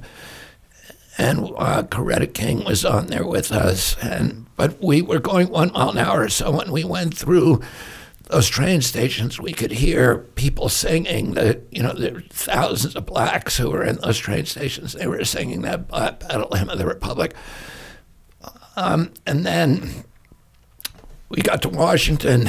President Johnson picked us up in a convoy, and we went up the hill. We went, you know, past the mall where the Poor People's Campaign. There were, you know, thousands of poor men, and they all came to the sidewalk and stood, you know, eight or nine deep uh, with their heads bowed, their hats, their hats, holding their hats to their chests, just standing there silent as we drove by. And we drove up to Arlington and buried my dad um, next to his brother under a small stone.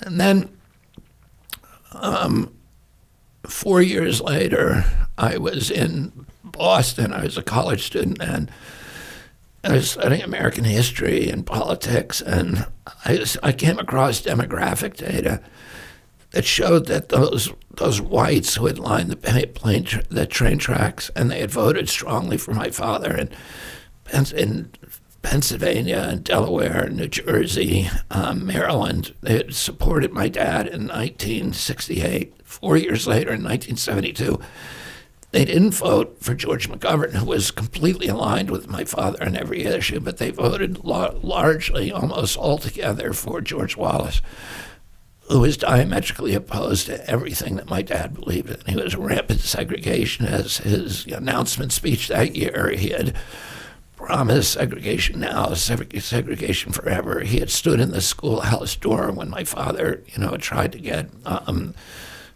uh, you know, Vivian Malone and five other blacks into the you know, Ole Miss. And uh, he was a, you know, he was a bad guy.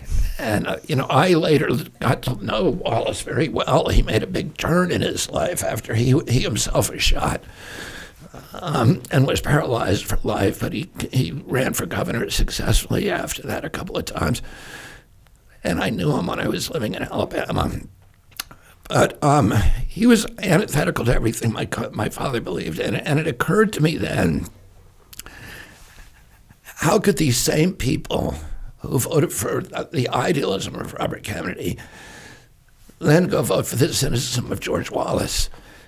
And it occurred to me then, and, and struck me many times since, that every nation, like every individual, has a darker side and a lighter side, and that the easiest thing for political leaders to do is to appeal to our our greed, to our bigotry, to our hatred, to our xenophobia, you know, to, to, to push all the alchemies of, of demagoguery.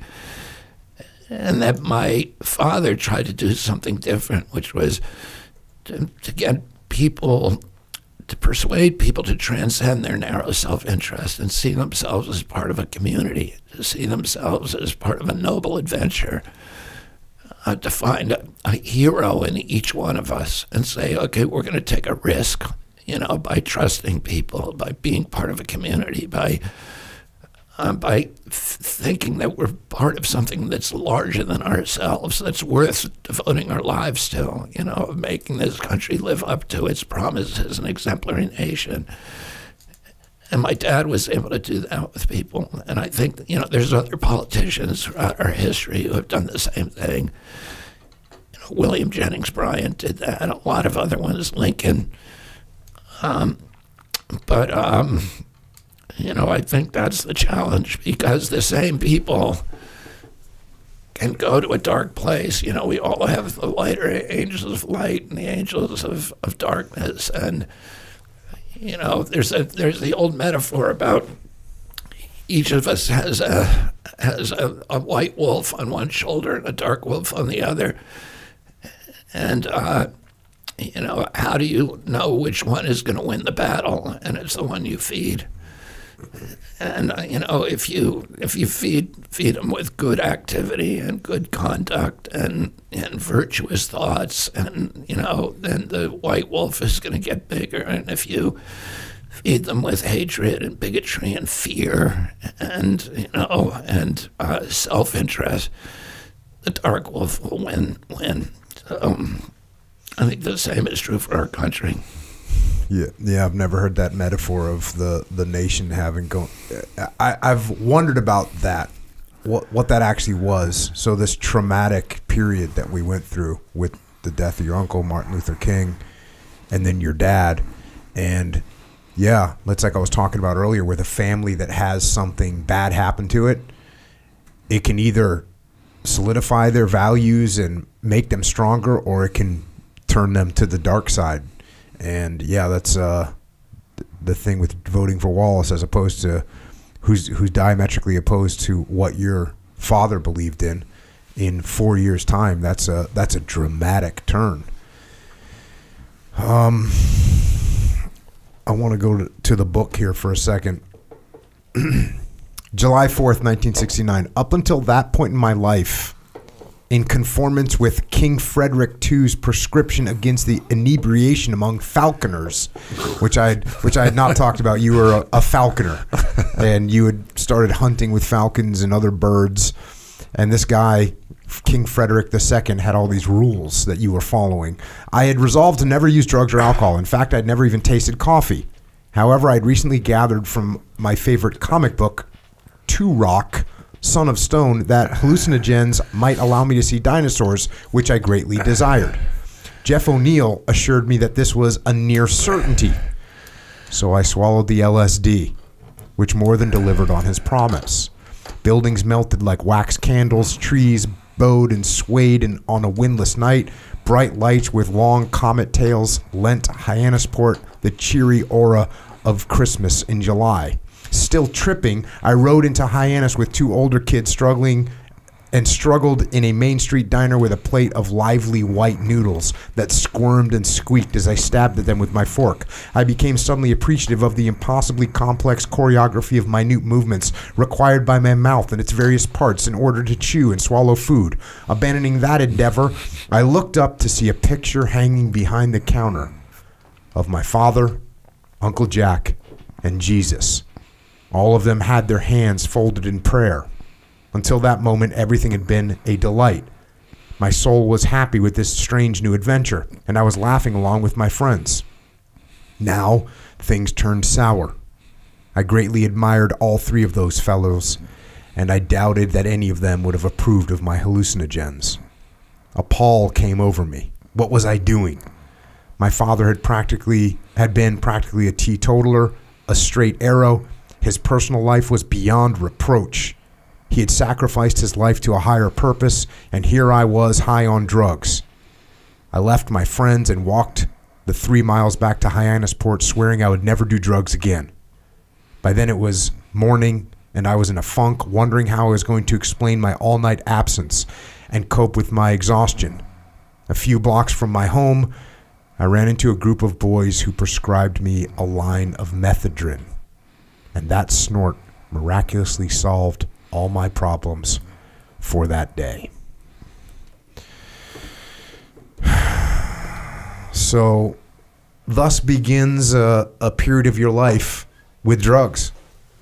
Yeah, so my my what they call progression was very very fast. Within several weeks, I was shooting heroin, and I did that from when I was 15 years old to when I was 28, and uh, and I got sober at 28. But you know, virtually all that time, I was taking drugs against my own conscience. So I was trying to stop. I was constantly making vows, making efforts to stop, um, but I couldn't do it. And, and the weird thing was, uh, for me, that I had iron self, I had iron willpower in other parts of my life. I gave up candy for Lent when I was 13, and I never ate it again until I was in college. I gave up desserts the next year and I never for Lent I never had another dessert till I was in college. I was playing sports, I was playing rugby, and was trying to bulk up. So I started eating desserts again, and I, and I, I felt I could do anything with willpower, and yet this um, compulsion was completely impervious to anything that I threw at it. I you know I could make a resolve and stay sober for a week, two weeks, uh, three weeks, but then I'd be doing it again. And um, the most demoralizing feature of this illness of addiction for me was my incapacity to keep contracts with myself. I would tell myself, at nine o'clock in the morning, earnestly, sincerely, honestly, I am never going to do that again. And at four o'clock in the afternoon, I'd be doing it. It was like somebody else had stepped into my body and was now, you know, was now manipulating the gears and, and driving the rig. And I had no capacity to bind that person with anything that I said earlier. And um, uh, you know, I went, I, I struggled like that for 14 years. I'm not saying it was all bad because I had a lot of fun during that period and I did a lot of wild things. And, uh, but I was always, I was always trying to stop. And, you know, particularly toward the end, it became, it became miserable. It's like, it's like dancing with a gorilla. You know, it's really fun and exhilarating in the beginning. And then, you know, you realize that you're dancing until the gorilla tells you to, he, he's ready to stop.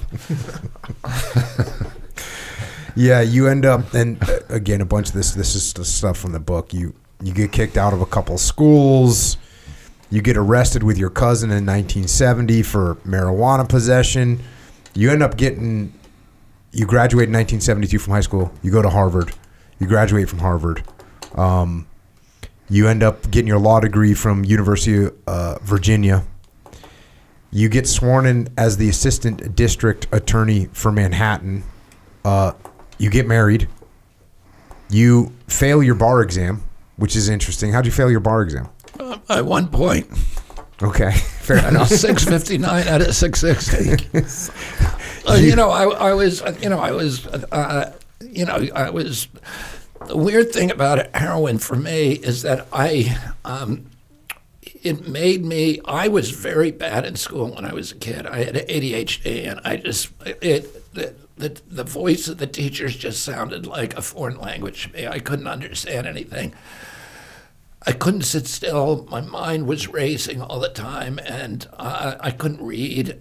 You know, I couldn't. I just could not sit still in my head or physically. I was always moving. And when I started doing narcotics, I went from the bottom of my class to the top of my class. So I went from, I was either the first or second in my class at every school I went to after I started, after I started doing narcotics. And um, I, you know, it allowed me to get into Harvard. It allowed me to flourish. Um, and if it still worked, I'd still be doing it uh, you know, it stopped working for me, and it also was destroying my life in other ways. Well, yeah, I was. Uh, most people don't get off that train. I mean, most people don't get off the heroin train alive, right? I, I don't know most, but I would I would say that's probably a good guess. That um, you know, and particularly these days, I think you know, with the with the advent of the fent- uh, age of fentanyl, it's you're much more likely to die than you are to get sober. Mm-hmm. Um, and you know, I had this. I had a. Um, I was lucky. Um, I was. Um, you know, I got. I had a. I had in 1983, at the end of 1983, I had when I went to a rehab and I had a spiritual awakening that freed me from addiction. So it was it's almost like for me it was like a miracle, like almost as if I could walk on water. It would be that shocking because I had really tried. And then suddenly it was just lifted. It was like as if it never had happened, as if I never had the compulsion.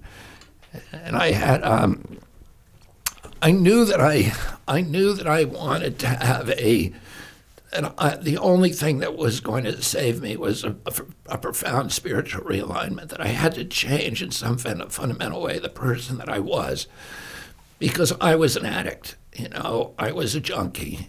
And um, if I didn't change in a very, very fundamental way who I was, then I was going to either be white knuckling it for the rest of my life and fighting the impulse, which would have been a miserable existence or I was going to find some way to make myself into a normal person, just a guy who wakes up in the morning and is not thinking of heroin all day and cocaine. And um, I had a, a, couple of things happen to me. One is, first of all, I'd read the lives of the saints because we did that every night when we were kids.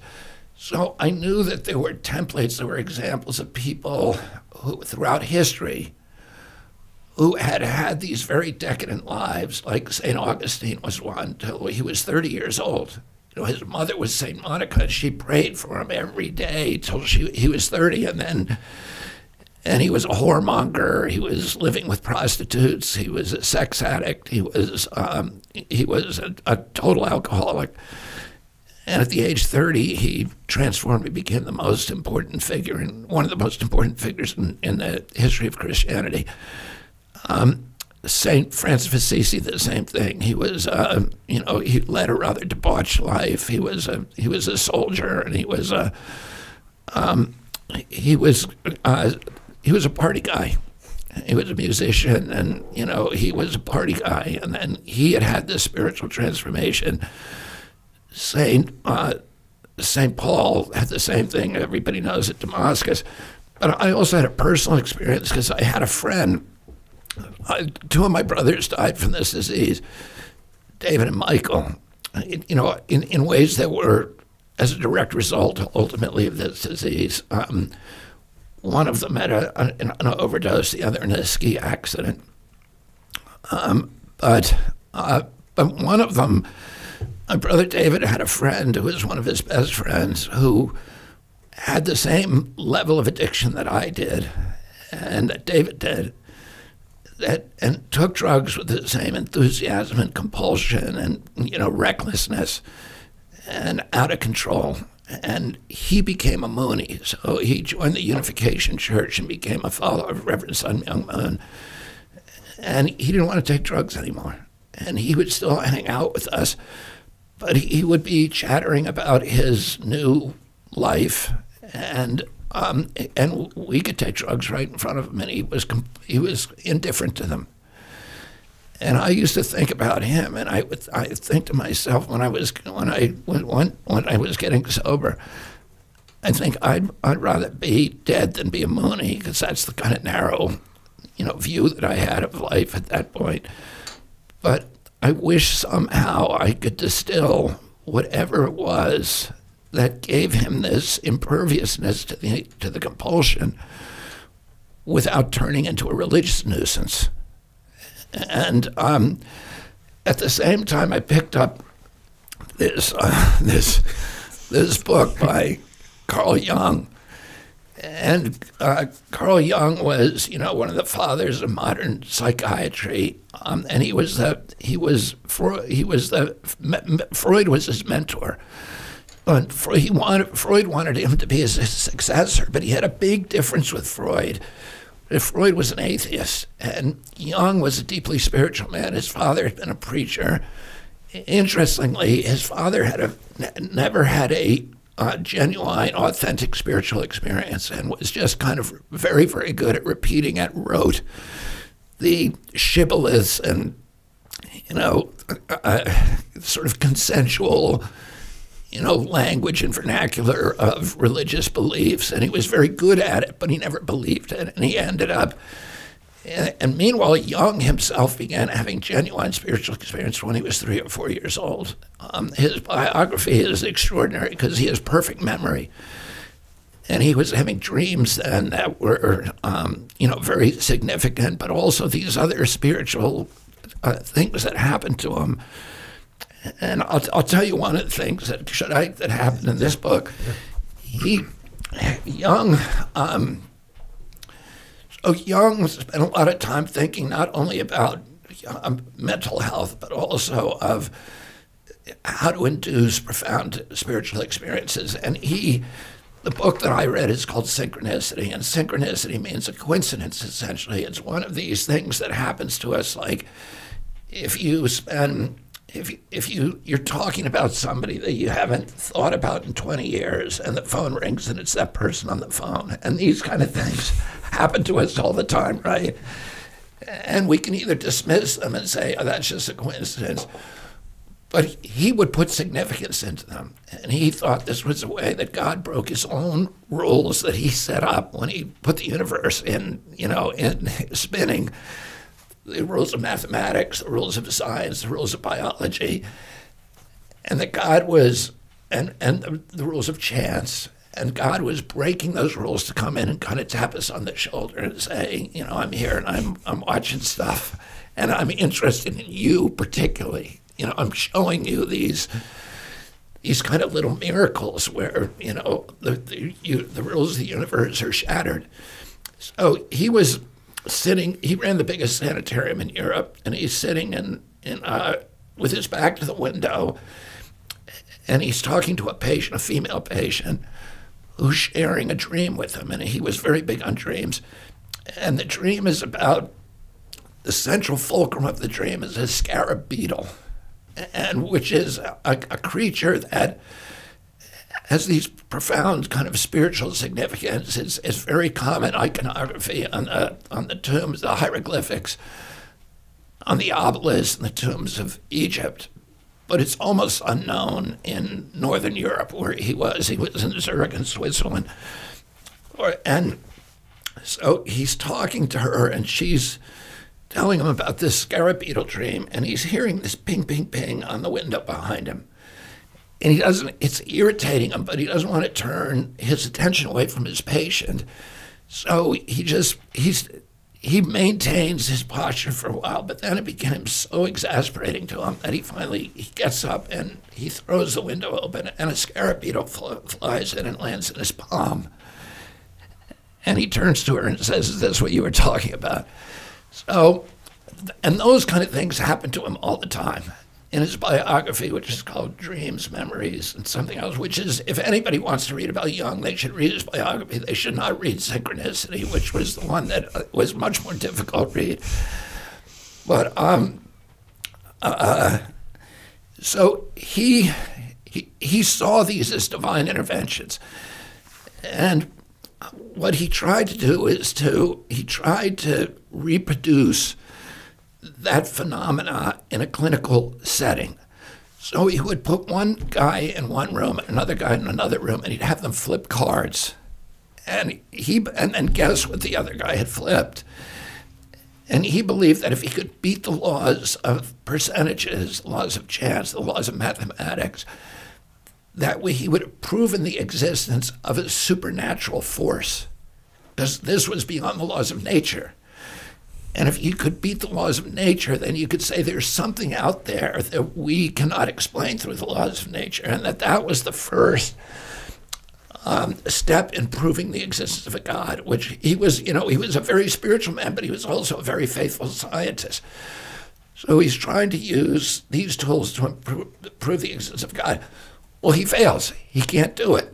And he says in the book that he, you, he could not use empirical tools or scientific tools to demonstrate the existence of a God. But he then said this he said, having seen tens of thousands of patients come through his sanitarium, that he could prove that people who believed in God got better faster and that their, their recovery was more durable than people who did not.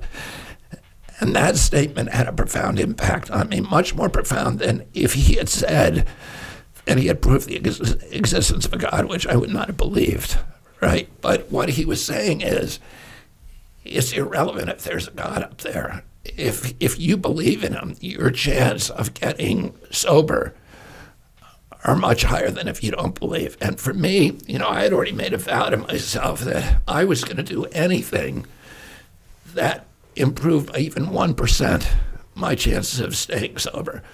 So, you know, I made an intellectual decision. I'm going to start believing in God. And then I confronted, you know, the universal dilemma, which is how do you start believing in something that you can't see or smell or touch or taste or hear or acquire with your senses? And the um, and Jung answers that question. He says, "Fake it till you make it. Act as if that the compliance will precede the evidence." Then once you start complying and living like you're somebody who believes, pretending you believe, you'll actually start seeing evidence that will put that supposition beyond any reasonable doubt. So that, and that's what I did. I started, I just said, okay, I'm going to pretend there's a God up there, that he's looking at me the whole time, and that everything that I do is, um, is kind of a moral choice, has a moral dimension to it. And I began uh, breaking my, and that I had to behave myself even when I didn't have an audience, you know, and uh, even when I didn't have eyewitnesses. So I started, um, I started breaking my day down into about 40 different decisions. And each one has a moral implication. Do I, when the alarm goes off in the morning, do I get out of bed immediately or do I lie in bed for another 15 minutes with my indolent thoughts? do I uh, do I hang up the towels when I go? Do I make my bed? That's the most important thing every day. Even when I'm staying at a hotel now, I make my bed, which is ridiculous. It's crazy to do that, but I do it because it's part of building character, which is what we're doing here. We're not here to build a pile for ourselves, and whoever dies with the most stuff wins. You know, we're here to build character, which is the only thing that is enduring, that's durable, that will survive our, our own lives. And uh, and so, and you do that by making the bed even when you don't need to. You know, uh, by by doing the right thing even when somebody's not looking at you. So, do I put the water in the ice tray before I put the ice tray back in the freezer? Do I, you know, when I reach into my closet and I pull out a pair of blue jeans and all those little wire hangers fall on the floor of the closet, do I go in there and say, because what I used to do is say, hey, I got a lot to do today. I am too important for that job. That's somebody else's job. And I'd shut the closet door. And I left a lot of those closed closets all day long, you know, for other people to do, right? And um, so, so I, now I go in there and I hang them all up, even if I'm in a rush. Um, when I, I, do I put the shopping cart back where it's supposed to go, you know. When, and I remember when I first got sober, I was I was my my life had gotten very very small, which is what happens. You get isolated, you get small from addiction. And when I got sober, my life started getting big very quickly, and um, and I was I was running through National Airport and I was late for a plane. It was mission critical. Like the I don't even remember what it was, but the apocalypse was going to happen if I didn't make that plane. And I was late and was already going to miss it. And as I was running, I was putting a piece of Dentyne in my mouth, and I wrapped the, the, the, wrapper up and I was running and I threw the wrapper and into a garbage can and make a perfect arc right into the center swish of the can. but I noticed through the corner of my eye that it must have hit something in there and jumped back out. I was like, well, that's God's fault because I made the shot, right? so I come running. But then I got about 40 or 50 feet down that, you know, down the uh, terminal and it just started eating at me. And I put on the brakes and I went back and put that little piece of garbage back in the can. And I still made my plane. But the most important thing that day was, you know, that I did was to do that. That little task is the most important thing I did on that day because it, it, it, the whole challenge with life and both sobriety, but also life, is how do we stay in that posture of surrender, of humility? You know, how do we stay there even when the cash and prizes are flowing in and people are telling you how great you are? and you got everything going for you. And that's when I want to say to God, thank you, God, I got it from here, you know, and take the wheel and drive the car off the cliff again. you know what I mean? Yeah, gotta watch out for that one. How, how long did the uh, spiritual awakening take? Like, how long were you in rehab I, for? within, I, I had it from when I made that decision. I'll tell you what happened to me. I went out, I finished that book, and by the time I finished that book, I had made a decision. I'm going to turn my life over to God, okay, whatever that means, however I find Him. And so I made that decision. And then that I close that book and I go to out, you know, these rehabs, they have a lot of volleyball. And uh, we went out to play volleyball. And during that volleyball game, a uh, a ball. Somebody hit a ball on a, a, you know a very very powerful punch and went way up in the air, and then it came down and he hit the top of the post where the net was tied. And it started up again, and I said out loud so everybody heard me. I said that ball is going to get hit by a Mack truck. oh, and the ball goes up again on this kind of errant flight it lands right dead on the center of a chain link fence and it topples over the other side onto a driveway uh, and and and it rolls down the grade about probably 40 or 50 feet into the middle of a thoroughfare and a big 18 wheel diesel with a bull, bulldog on the on the on the hood comes and pops and it goes bang you know a big resounding pop and everybody there just looked at me and said how did you know that it was just a moment. But I was like, okay, this is, you know, and I had just finished that book about synchronicity.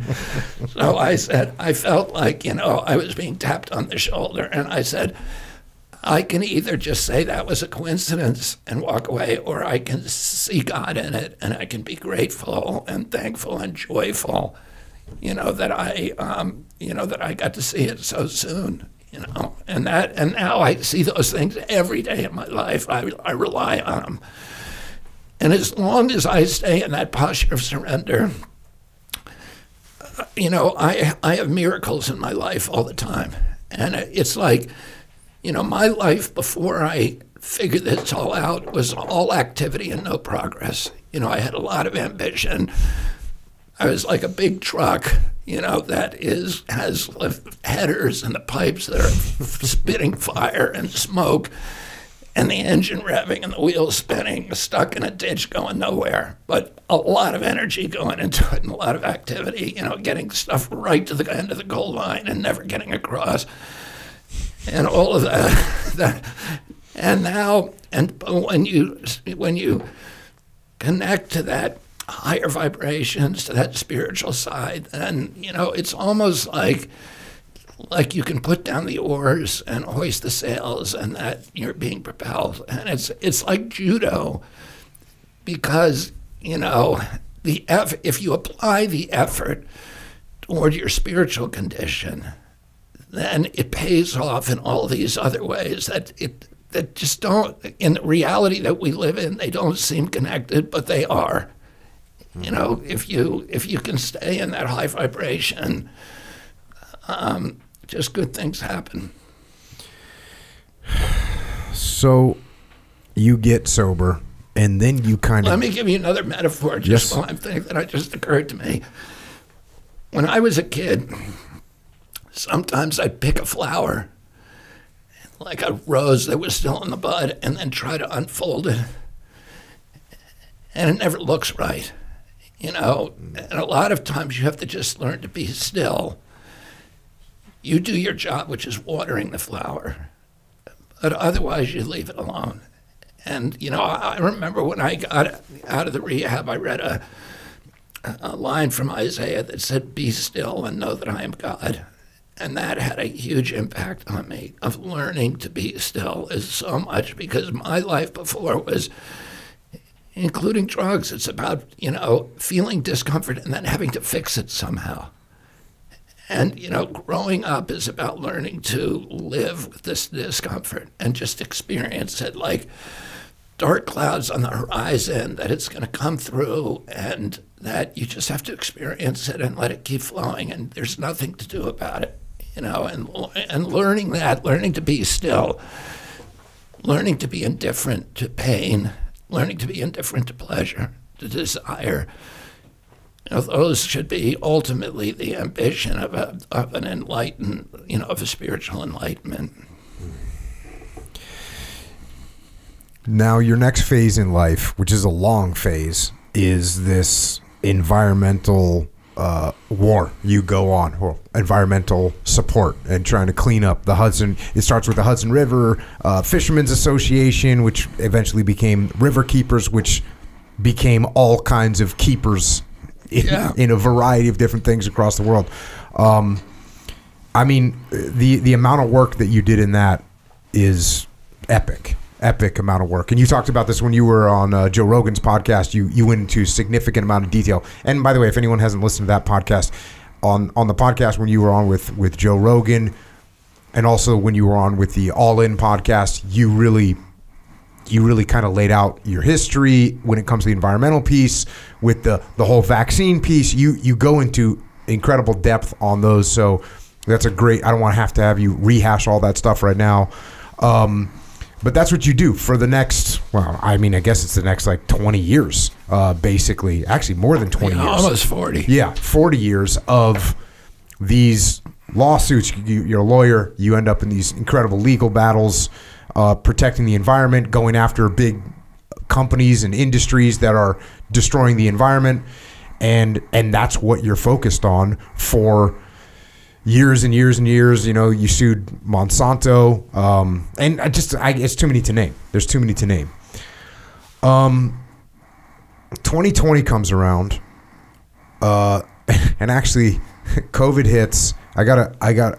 If you go and look at your Wikipedia page, which I got a good kick out of, um, your Wikipedia page says, uh, "quote known for advocating anti-vaccine misinformation and public health conspiracy theories."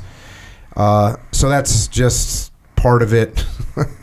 um, and what's really crazy, and I mean, of course, uh, Joe Rogan has talked about this a lot. The kind of things that people were being banned from Twitter for saying have now been completely proven to be true. There's all kinds of things like that. You wrote a book, uh, The Real Anthony Fauci, about Bill Gates, Big Pharma, and the global war on democracy and public health. You wrote another book called The Wuhan Cover Up. So you've written these books you're crusading against those you know this sort of just vaccination for and again I want to point out the fact that you're not anti-vax you there's all kinds of vaccines that you support there's just vaccines that you don't support um 23 April 19th 2023 you decide that you're going to run as uh, run for president and and to the best of what I can suss out right now you you go back to this Albert Camus theory of you got to do your duty. Is that a, a good assessment? Yeah, I mean that's kind of a good summary of, of you know those years, and you know I um, I hit a place where uh, all the signs were telling me that this is something. This is the place that I can be most effective in my life. So I, you know, I had uh, toyed with the idea of running for political office earlier in my life uh, in the 90, when, when, when it would have been, when Hillary was, um, when, well, it would have been around 2006 when Hillary uh, was appointed to Secretary of State under Obama. What, what year would that have been? Anyway, that, when she was, um, I thought about running for the Senate seat, which my, my dad's seat in New York State, my numbers were better than anybody else in the state. And a lot of people had polled me then, and my I had very, you know, I was working on the Hudson. I was uh, on TV all the time. I was, you know, people really had affection for my dad. who had been senator from New York. So it would have been a kind of an easy run for me to run for United States Senator of New York. And I was going to do that the year that Hillary ran, but I had family issues that time that kept me from doing that. And then, um, and so I helped Hillary take that seat. I did advertisements for her. I did a lot of work for her. And then when she left and to go to the State Department, David Paterson, who was the governor of New York, called me and offered me the job. He got to appoint her replacement. So he said, I want you to do it. And I um, said, give me 24 hours to think about it. And I had some of the same family issues at that time that made me just say no. And at that point, that would have been the easiest way to political office, just an appointment without ever having to run. Um, but uh, I, at that point, I kind of was, I, I, any thought of ever running for political office was, you know, I felt like I was too old because, not that I lacked energy, but the you have to be, particularly the U.S. Senate, you don't get a chairmanship of a committee till you've been there for three terms, which is like 18 years. Mm-hmm. You have to be there for a long time before you get any power, and um, and so it's really a young man's you know, game or young woman, you know, you, you need to get in there a little earlier in life if you're going to be effective at it. And I didn't need the attention. You know, a lot of people may run and just say, I'll use a bully pulpit, but I, I already had as, you know, as many microphones as I want. I could go on TV anytime I wanted. So I didn't need attention, and I didn't, you know, I'd been in politics, political. I, I could call any politician in America and they'd answer the phone. I could call the president, get him on the phone. I could call virtually any business leader and get him on the phone. So being in the Senate was not going to add to my life, my effectiveness, and it caused a lot of misery because you have to go and live in Washington, and my family was in New York, and you know, and I was happy doing what I'm doing. I was effective at it it was fun. It's fun going for me. I love being in a fist fight, and you know I was in every fist fight at that time. Whether you know name a corporation that was polluting, and I I've sued them. I brought over 500 lawsuits, successful lawsuits. You know I've lost plenty too. You know, if you're not, people who say they've never lost a lawsuit are not taking difficult ones. And I was taking anything. You know, I was trying to figure out a way to sue anybody who messed with the environment. And I tried a lot of novel stuff that didn't work, but I tried mostly I was successful. And um, so I, you know, and I was having fun and I got to do what I wanted to do. I didn't have, you know, press questioning me. I, and I had a wild life. You know, I was, uh, you know, I, I was a heroin addict. I, I rode freight trains across the, uh, across the country and been, you know, I'd been arrested I, I, had all kinds of stuff that you know are not. I didn't want to explain to people. so, uh, you know, I was happy, and I didn't have to explain to anybody about my personal conduct. You know, and uh, and so anyway, I had it was off the shelf for me. And I started thinking when I saw the censorship, which I never believed the Democratic Party you know, moving to censor political opponents and everybody being okay with it.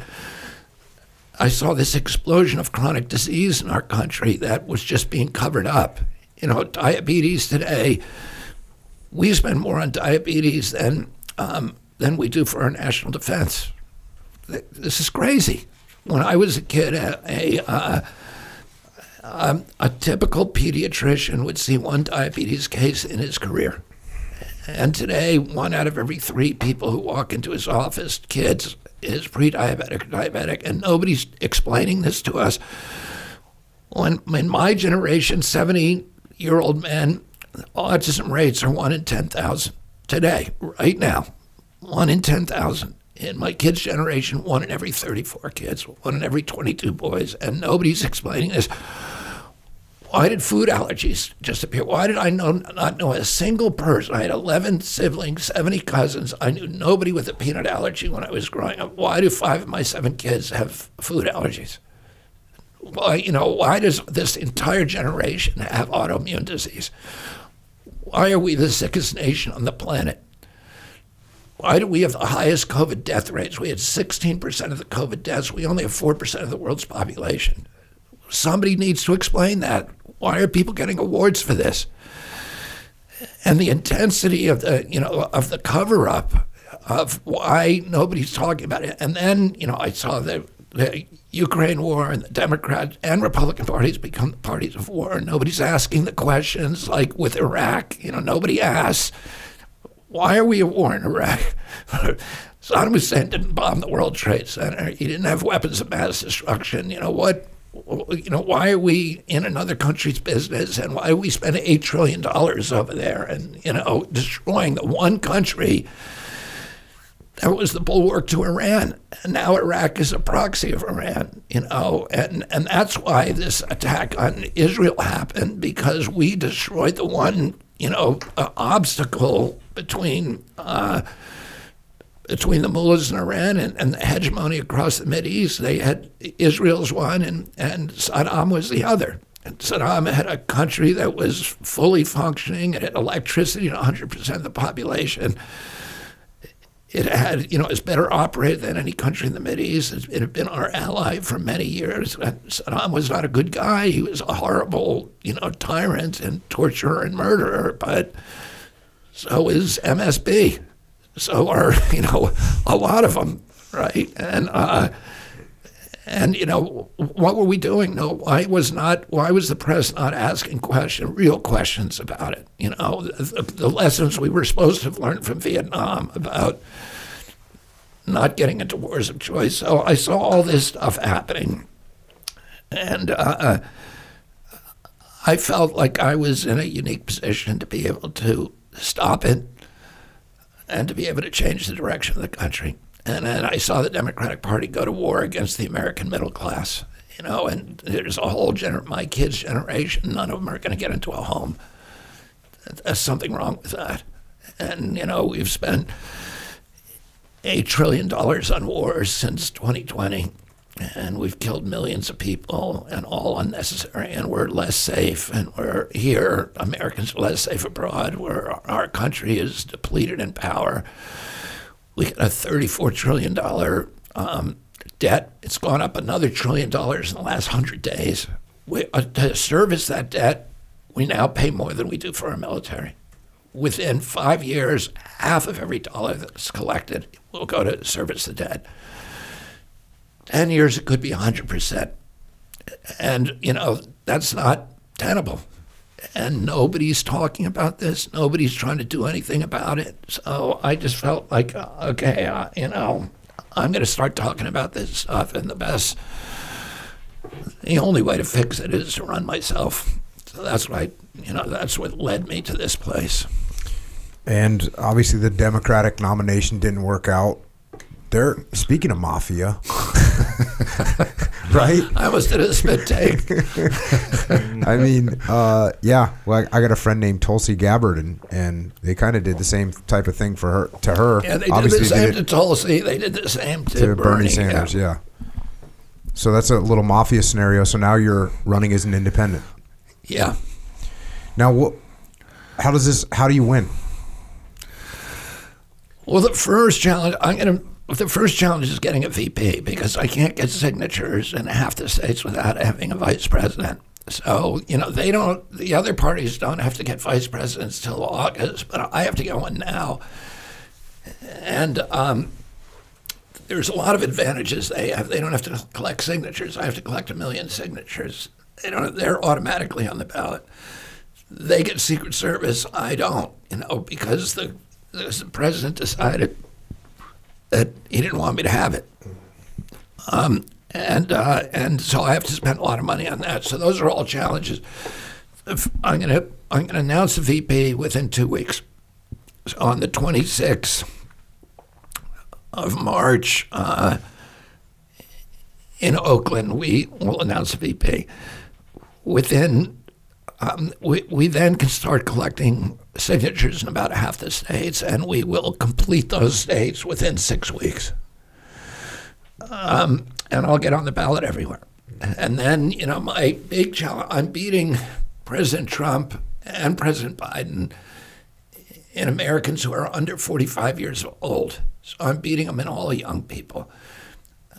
I'm beating them among independents, and independents for the first time are the biggest demographic in this country. So this is the first election in history where self-identified independents are registered independents are more, are a larger party than either Democrats or Republicans. The independents now 43% of the voting voters, 27 are Democrats, 27 are Republicans. So it's huge. And I, I beat President Trump and President Biden among independents. Uh, I'm tied, a three way tie with Hispanic voters. And my, um, my uh, popularity with Hispanics is getting higher all the time. I'm the most popular candidate, favorite, high, highest favorability rating by far. I have a 52% favorability rating.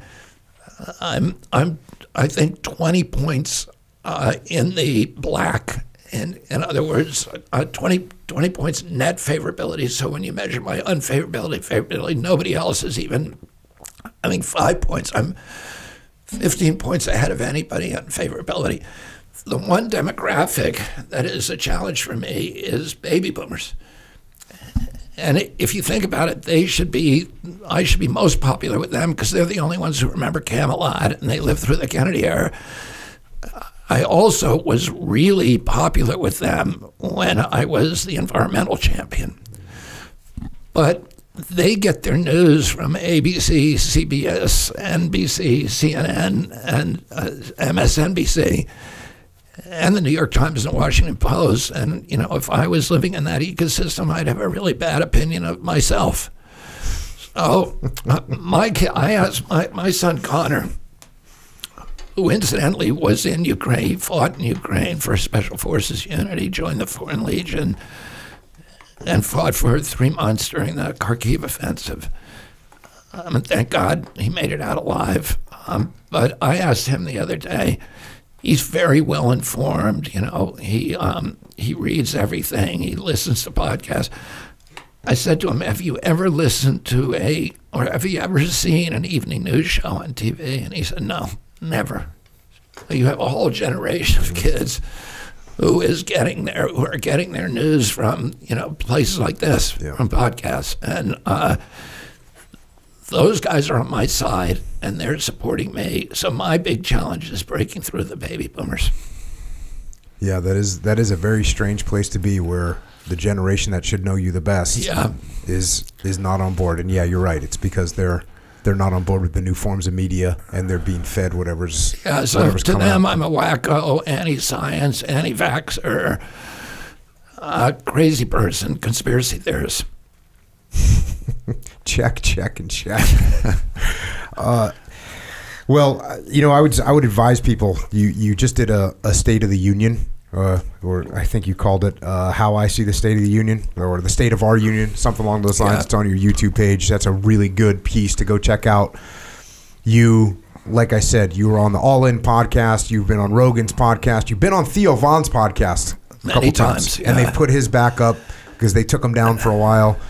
And so there's uh, so much information out there about you, and I would recommend people go and listen to those because they can learn more about you. Clearly, the books that you've written, there's great information. The, the, book that I covered today, American Values, fantastic book to read. And then, like I said, the Wuhan cover up, and then the the real Anthony Fauci. Those books are are filled with information that you might wanna you might want to check out if you if you don't understand these things or if you have questions. So I think that's a probably gets us to a pretty good spot. Does that does that get us up to speed? Yeah. Um, people can find you kennedy24.com you're on instagram you're on what i call twitter x call yeah, Twitter that's X. a good thing because there's no way to talk about it yeah. if you don't call it Twitter or tweeting. Yeah, so Instagram, Twitter X, and Facebook, you're at Robert F. Kennedy Jr. You got a YouTube channel, which is at Team Kennedy 24. Echo Charles, do you have any questions? Uh, no questions. Just I did notice that you're in a lot better shape than most politicians I know. Is that like, are we working out every day? Is that Yeah, yeah, I'm at the gym every day. You, you haven't seen. There's a video of him at, at uh. You remember we were up at, at, at, at Venice Beach recently, Muscle Beach. Yeah. He's up there at Muscle Beach. Okay. No all right. shirt, Doing it. getting Okay. after it. That makes perfect sense to me. Yes. Good to meet you. Uh, good to meet you too. Um, we got to get on the ballot in, in California right now. People can go. We need 75,000 people to sign up for our political party, which is We the People, and they can go to Kennedy dot or Kennedy24.com slash California. And we need 75,000 to sign up, and then we're on the ballot there. Okay, well, I'm. I'm sure we can definitely make that happen. Any Robert? Any other closing thoughts you want to cover? No, I you know I just want to thank you for your service. And uh, you know we talked beforehand that I had represented a lot of the SEALs during COVID on uh, who who uh, were non-compliant with some of the mandates. And uh, anyway, it's a it's a real honor to be with you. And you know thanks for you know for everything that you've done for our country. Well, I appreciate it, and um, well, thanks for your service and, and the sacrifice of your family, um, especially your uncle Joe, who who gave his life, and your uncle Jack and your father. Both of them served in the Navy. All th- all three of them actually served in the Navy, and and gave their lives for our country. So thank you for what you've done, your family's done. Thank you for what you've done for our environment, and thank you for what you are trying to do today to help fulfill the true promise of America. Thank you. Thank you very much, Jocko. Thank you, Echo. Sir. And with that, Robert F. Kennedy Jr. has left the building. Echo Charles, Yes, sir. how was that for a uh, historical review? Good. Yeah. Good. Yeah. So, a lot of us on Kauai, if you grew up on Kauai, you you're not quite as privy to all that. You know, like the, a lot of this was probably a lot more familiar just from general knowledge to you than it was for me. So yes, to kind of in a way go down memory lane, and in my case, get privy to all the you know all the back info, very Yeah. helpful. Yeah, it's it's definitely interesting, and yeah, for, you're right. For me, and I told told mentioned this at the beginning of the podcast. Growing up in New England, you're going to hear about the Kennedys, Yeah. and you're going to hear, like I said, you're going to hear the good, you're going to hear the horrible, and everything in between. Yeah. The the the Catholics that I knew from Massachusetts, Mm-hmm. bro, these people. I mean, they love Yeah. the entire Kennedy family. Can do no wrong. Yeah. Uh, the Protestants that I knew Mm. growing up, others other end of the spectrum. Other deal can do no right. The conservative Republicans, bro, like Not just even close. no. And it's it's so interesting because now we're so much more aware of how things are how, like how the media, media manipulates things. Yeah. There's so much we could be unpacking the entire media view of the Kennedy family. You could mm-hmm. just unpack it for years. It would take years Yeah. of you know what the what the conservatives would put out about them, what the what the Democrats would put out about them, what the liberals would put out about. Everybody's got their gonna they're gonna spin it, Yeah. and so it's it's very difficult to look at and figure it all out. Yeah. The And- red. I always thought that the, a red, big red flag, as far as like convincing someone about someone, you know, like who, if someone's gonna say something about someone else, like the a big red flag was always if it was like a name calling, like he's a X Y Z, he's a Nazi, he's a whatever, he hates this, like all reading their mind and stuff, like or uh, he's anti. Um, well, actually, anti can be accurate sometimes, but just the whole name calling in general, mm-hmm. which is just all it's pretty much all the time now. You can notice it when you're really looking for it. It's like, bro, it's just name calling. Anytime it's name calling, Yeah. I feel like, You're oh no, no, no, yeah, yeah, you're suspect because there's probably like way more to it. In fact, I would say that might even be an indicator. Yeah, yeah, and I, what what I guess the I guess the way I look at things in general is it's I talk about this a lot at, at Echelon Front as well. You want to you want to look at a you want to look at a target. If you're going after a target, if you're assaulting a target, you want to see it from as many different perspectives as you can. Mm.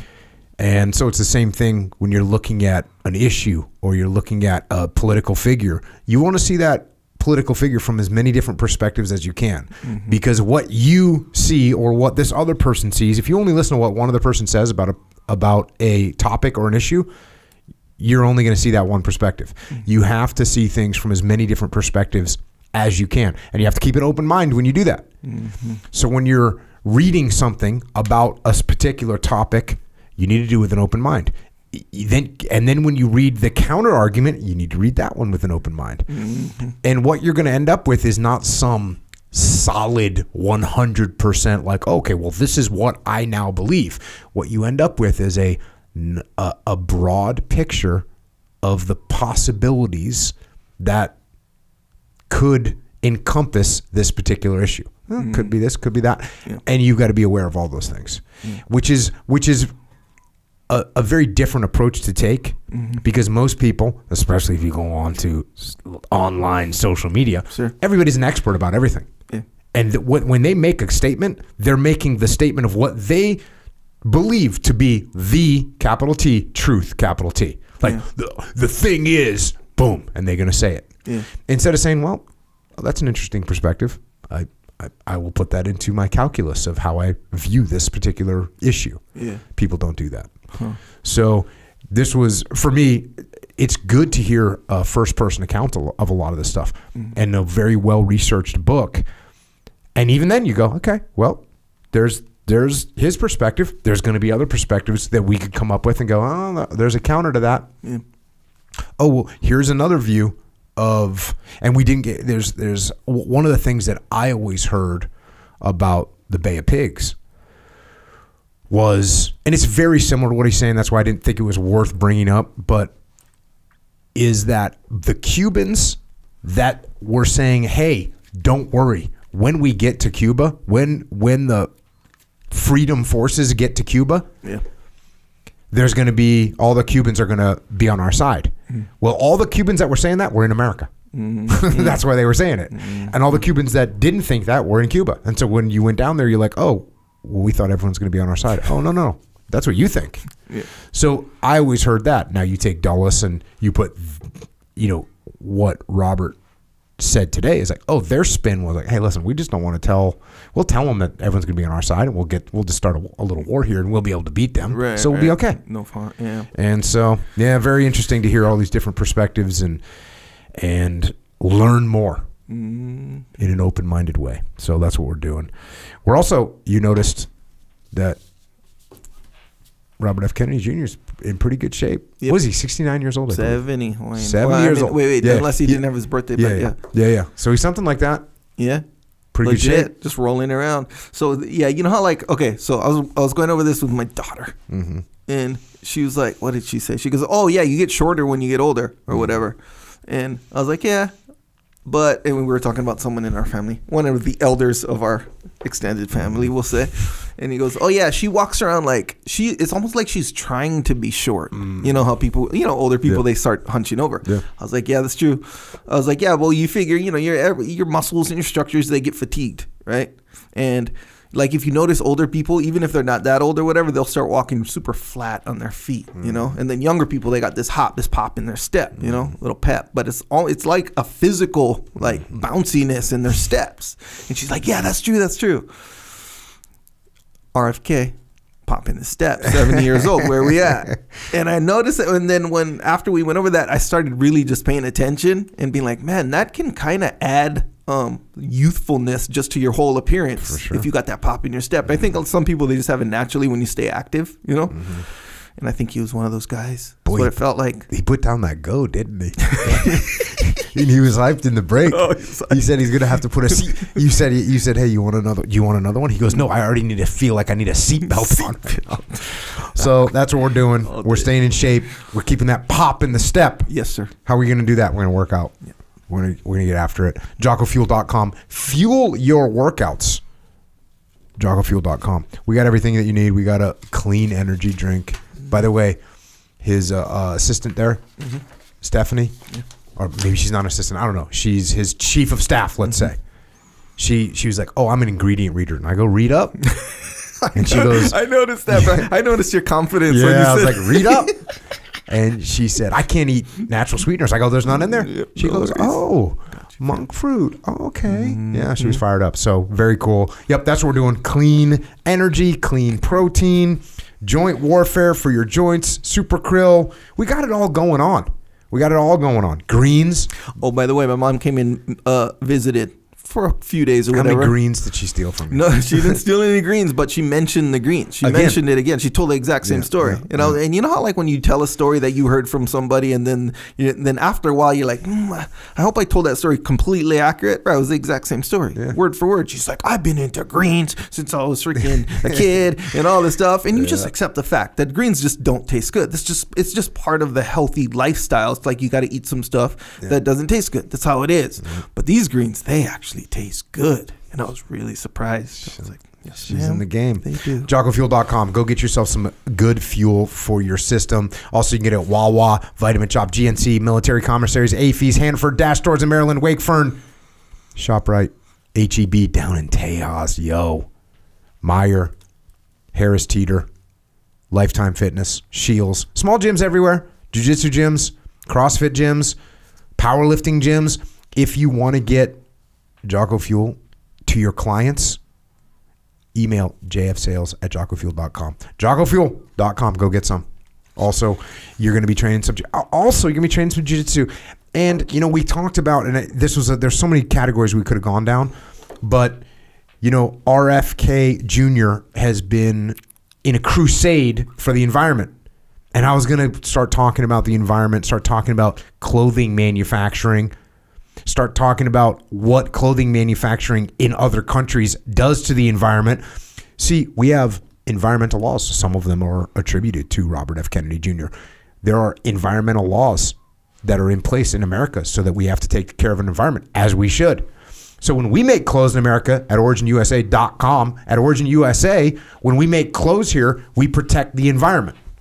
Not like what they're doing overseas when there's no rules, no laws. The only law overseas that they have is the lowest possible price, which means we're going to destroy the environment. So don't get your clothes from a chemical spewing, environment destroying, slave labor owning company. Get your clothing from originusa.com. Jeans, boots, jujitsu gis, jujitsu rash guards, t-shirts, joggers, Yes, sir. jackets, hunt gear. Did you get a puffy jacket yet? No. Oh, I got a big box from Origin Oh, you didn't open it that I haven't fully explored, and it's big. so, okay, yeah, yeah, you know, yeah. Those, so, so we got everything. You don't need to go to www.destroytheenvironment.com or www.slavelabor.com. Don't go to those. Go to www.originusa.com and invest in freedom. That's another thing he talked about today. Look, we are well, I don't know if we talked we didn't talk about it on the podcast, but bringing manufacturing back to America. Look, Robert F. Kennedy Jr. wants to do that. I want to do that. He's running for president. I'm building companies that manufacture here in America. That's what we're doing. You want to support it. So there you go. OriginUSA.com. Yeah, very true. Also, Jocko has a store called JockoStore.com, also known as DefCor.com. Anywhere, you anyway, you wanna, you wanna, uh, if you want a shirt, hat, hoodie, all this stuff with discipline equals freedom, good, you know, all these things that that are representative of the path is where you can get it. I'm telling you, it's it's some, it's good stuff. So one, of actually, I told you my mom was visiting, and it was my mom's friend's like son or brother. Okay. Anyway, and they had met or whatever, and they're in the game, we'll say. And they're like, hey, and the guy was like, hey, the man, they do good work or whatever. The Discipline Equals Freedom shirt, man, they do good work because it's the, my favorite shirt, not only because it says Discipline Equals Freedom, but how it fits. See what I'm saying? That's that quality stuff right There there. Don't go. worry, I got you. Anyway, you want to represent? That's where you go. That's where you get it. Um, shirt locker. Let's talk about it. New design every month. People have been liking and giving me feedback on the latest one, sugar coated lies. Here's Mm-hmm. the thing: what we what we don't realize that sugar coated lies is one of the OG OG sayings, and it's in reference to donuts Yeah, and how 100%. donuts trick you, Mm-hmm. and They're lies. they're lies. And you say, "Hey, your willpower is is not going to be defeated by a donut." I would hope not. I hope not. Right. That was the whole message right there. But yeah, in, in the event of, you know, some newcomers who maybe missed that OG saying, that's what it is. That's the Yeah. explanation. It's in in this book. He talks about the whole, and he mentioned it today, mm. where he's basically like taking or when he's addicted, he's mm. taking orders from this other. Bro, that's Thing. real. That's real. So sometimes that other thing is heroin. I hope it's not. No. Sometimes it's a donut. Yeah. It shouldn't Oh, be a donut, dude. Shouldn't be heroin either. No. But give yourself orders. You're the general. You're in charge. Yeah. Don't listen to that guy over there. That's funny because, like, it kind of does. And you know how, like, when you're, you know how they say, and there's all these different behavior, like, helpers, right? Behavior modification, like, helpers, mm-hmm. where it's like, they'll say, hey, don't do, just don't do this. If you, hey, look, if you have a problem with donut, donuts, right? Mm-hmm. The kind where if you see a donut, it's really, really hard for you to resist a donut, mm-hmm. then don't keep them in the house. Like, Yeah, that's like, I- I it- agree. it's helper. I agree. And here's the thing that that works for a reason, or actually for a few reasons, Mm-hmm. or whatever. So you can literally, and so one of them is don't go shopping when you're hungry. Yeah, like that's the old school one, right? problem, bro. I'm telling you, if you have like, let's say, this affinity and this love in your heart for the taste of donuts. And you're not, and you're full. You just ate dinner, Mm-hmm. you know, had a milk, and you're kind of like, kind of, kind of full, like re- right after. And then you go shopping and see the donuts, bro. It's like whatever. I think it's good. If we're gonna go extreme here, I'm gonna say like have a good day. Like work out in the morning early, Mm-hmm. get a run in, get some jujitsu done, go home, eat. Yeah. a lot by the way. Steak, milk, greens, creatine, like, Yeah. and then go shopping. Oh, yeah. because you'll be like just overflowing with discipline. Yeah, you know what I mean. and that's just one part of it. So you don't even have any like desire really, Yeah, you know. And if you do, like just because of the the what do you call it, how much you like it or whatever, it's not at its full peak. In fact, it's at its lowest peak. Yep. So now you just got this like for you to do that is it's almost impossible to just betray your whole self Yeah, like yeah, that. yeah. You know, You're not getting donuts. no, you're not getting there. donuts. So Nonetheless, don't get donuts. This shirt, the sh- this current shirt from the shirt locker is just a small little reminder Mm-hmm. that a donut is not stronger than your will. There you go. Hey, uh, here's another thing. Another little tie-in. Robert F. Kennedy Jr. talks about uh, factory farming and factory processing of meat, like big giant corporations. Mm-hmm. We don't like that. Not good for you. Not good for the country. Not good for the environment. Not good for anything. Mm-hmm. That's why, if you want some steak, which you should, by the way, get your steak from primalbeef.com or from coloradocraftbeef.com. These are small, nice little farms where we have control over the whole process. So go to primalbeef.com or coloradocraftbeef.com and check it out. Get yourself some good steak that supports America. Supports America. Supports the small ranches out there, the small farmers. That's what we're doing. So check it out. coloradocraftbeef.com. They got they got meat sticks by the way at coloradocraftbeef.com. Did they send you any? Yes. Okay, yeah, Yes, of course. They're really good. They are.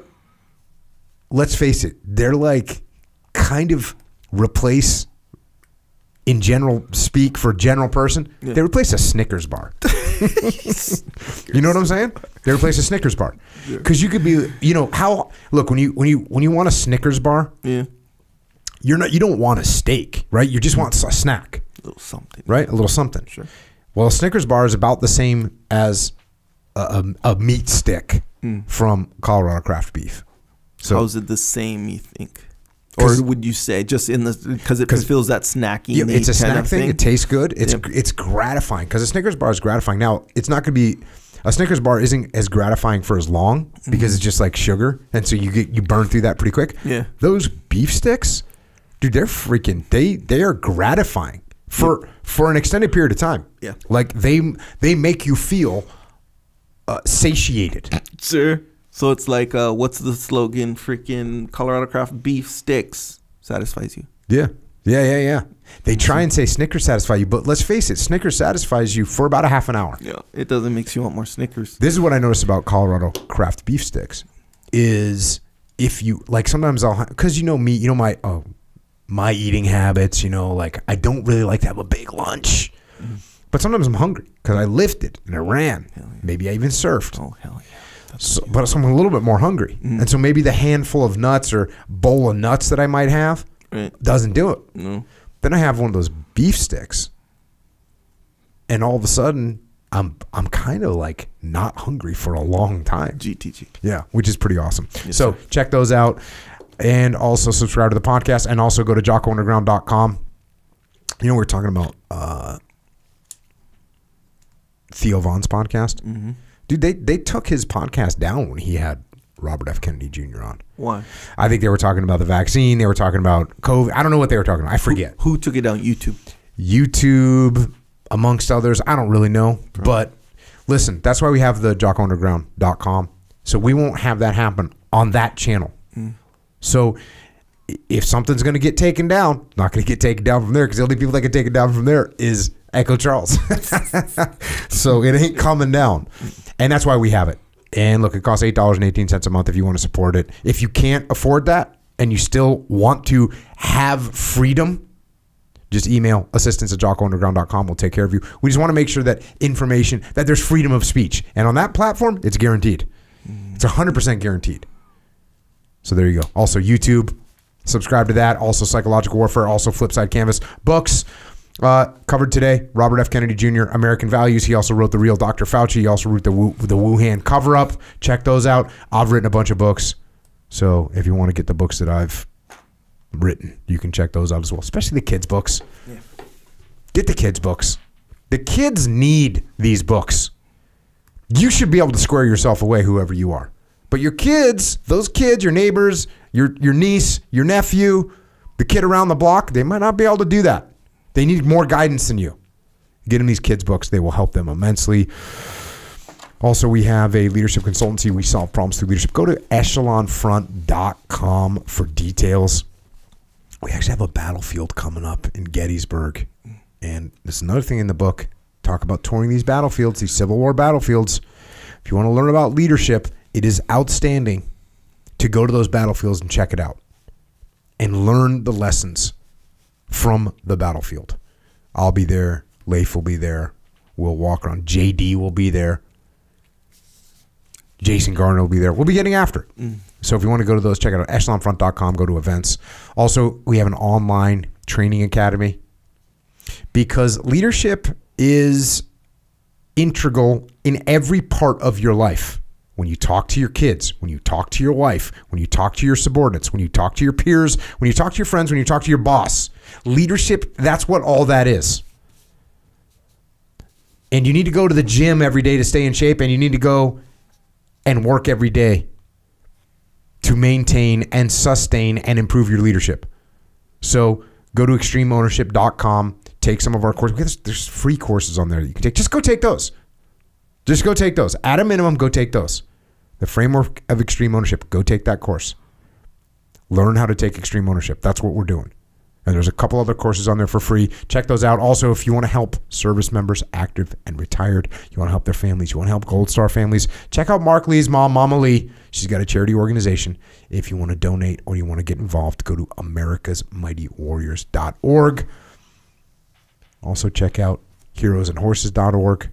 Also, Jimmy May's got an organization called beyondthebrotherhood.org. Check all those out. And if you want to connect with Robert F. Kennedy Jr., if you want to support him, go to kennedy24.com slash California if you want to register. And he needs 75,000 of those. So get on there, make that happen. Also, he's on Instagram, Twitter, Twitter X, Facebook at Robert F. Kennedy Jr. And he's on YouTube at Team Kennedy 24. Go check out his State of Our Union if you want to get a feel for what he's thinking and where he's at. If you want to connect with me, I'm at jocko.com. I'm also on so- social media. I'm at Jocko Willink. Echo's on social media. He's at Echo Charles. Third Measure is on social media. Dang, third measure made the cut. They made the cut Okay. at third, th- three RD measure. That's where it's at. If you want to see some scraps, Sure. right? Sure. That's we what call it them is. scraps. Yeah, scraps. Some uh, eh, post-apocalyptic possibilities. Okay. kind of a thing. Any forthcoming? Anything we need to know about? Nope. Okay. Nothing you need to know about at this time. Hey, if you do go there, Mm. don't don't do an infinite uh, scroll. Yeah. Infinite scroll through your life. Addictive. It's addictive. Don't let that happen. Watch out for the algorithm.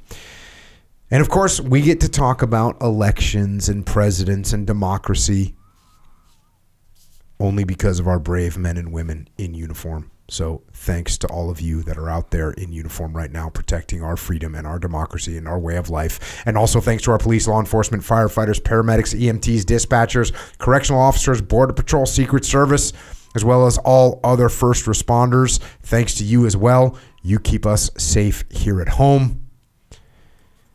And everyone else out there, I'm going to leave you with a quote from John F. Kennedy, who was a lieutenant in the Navy.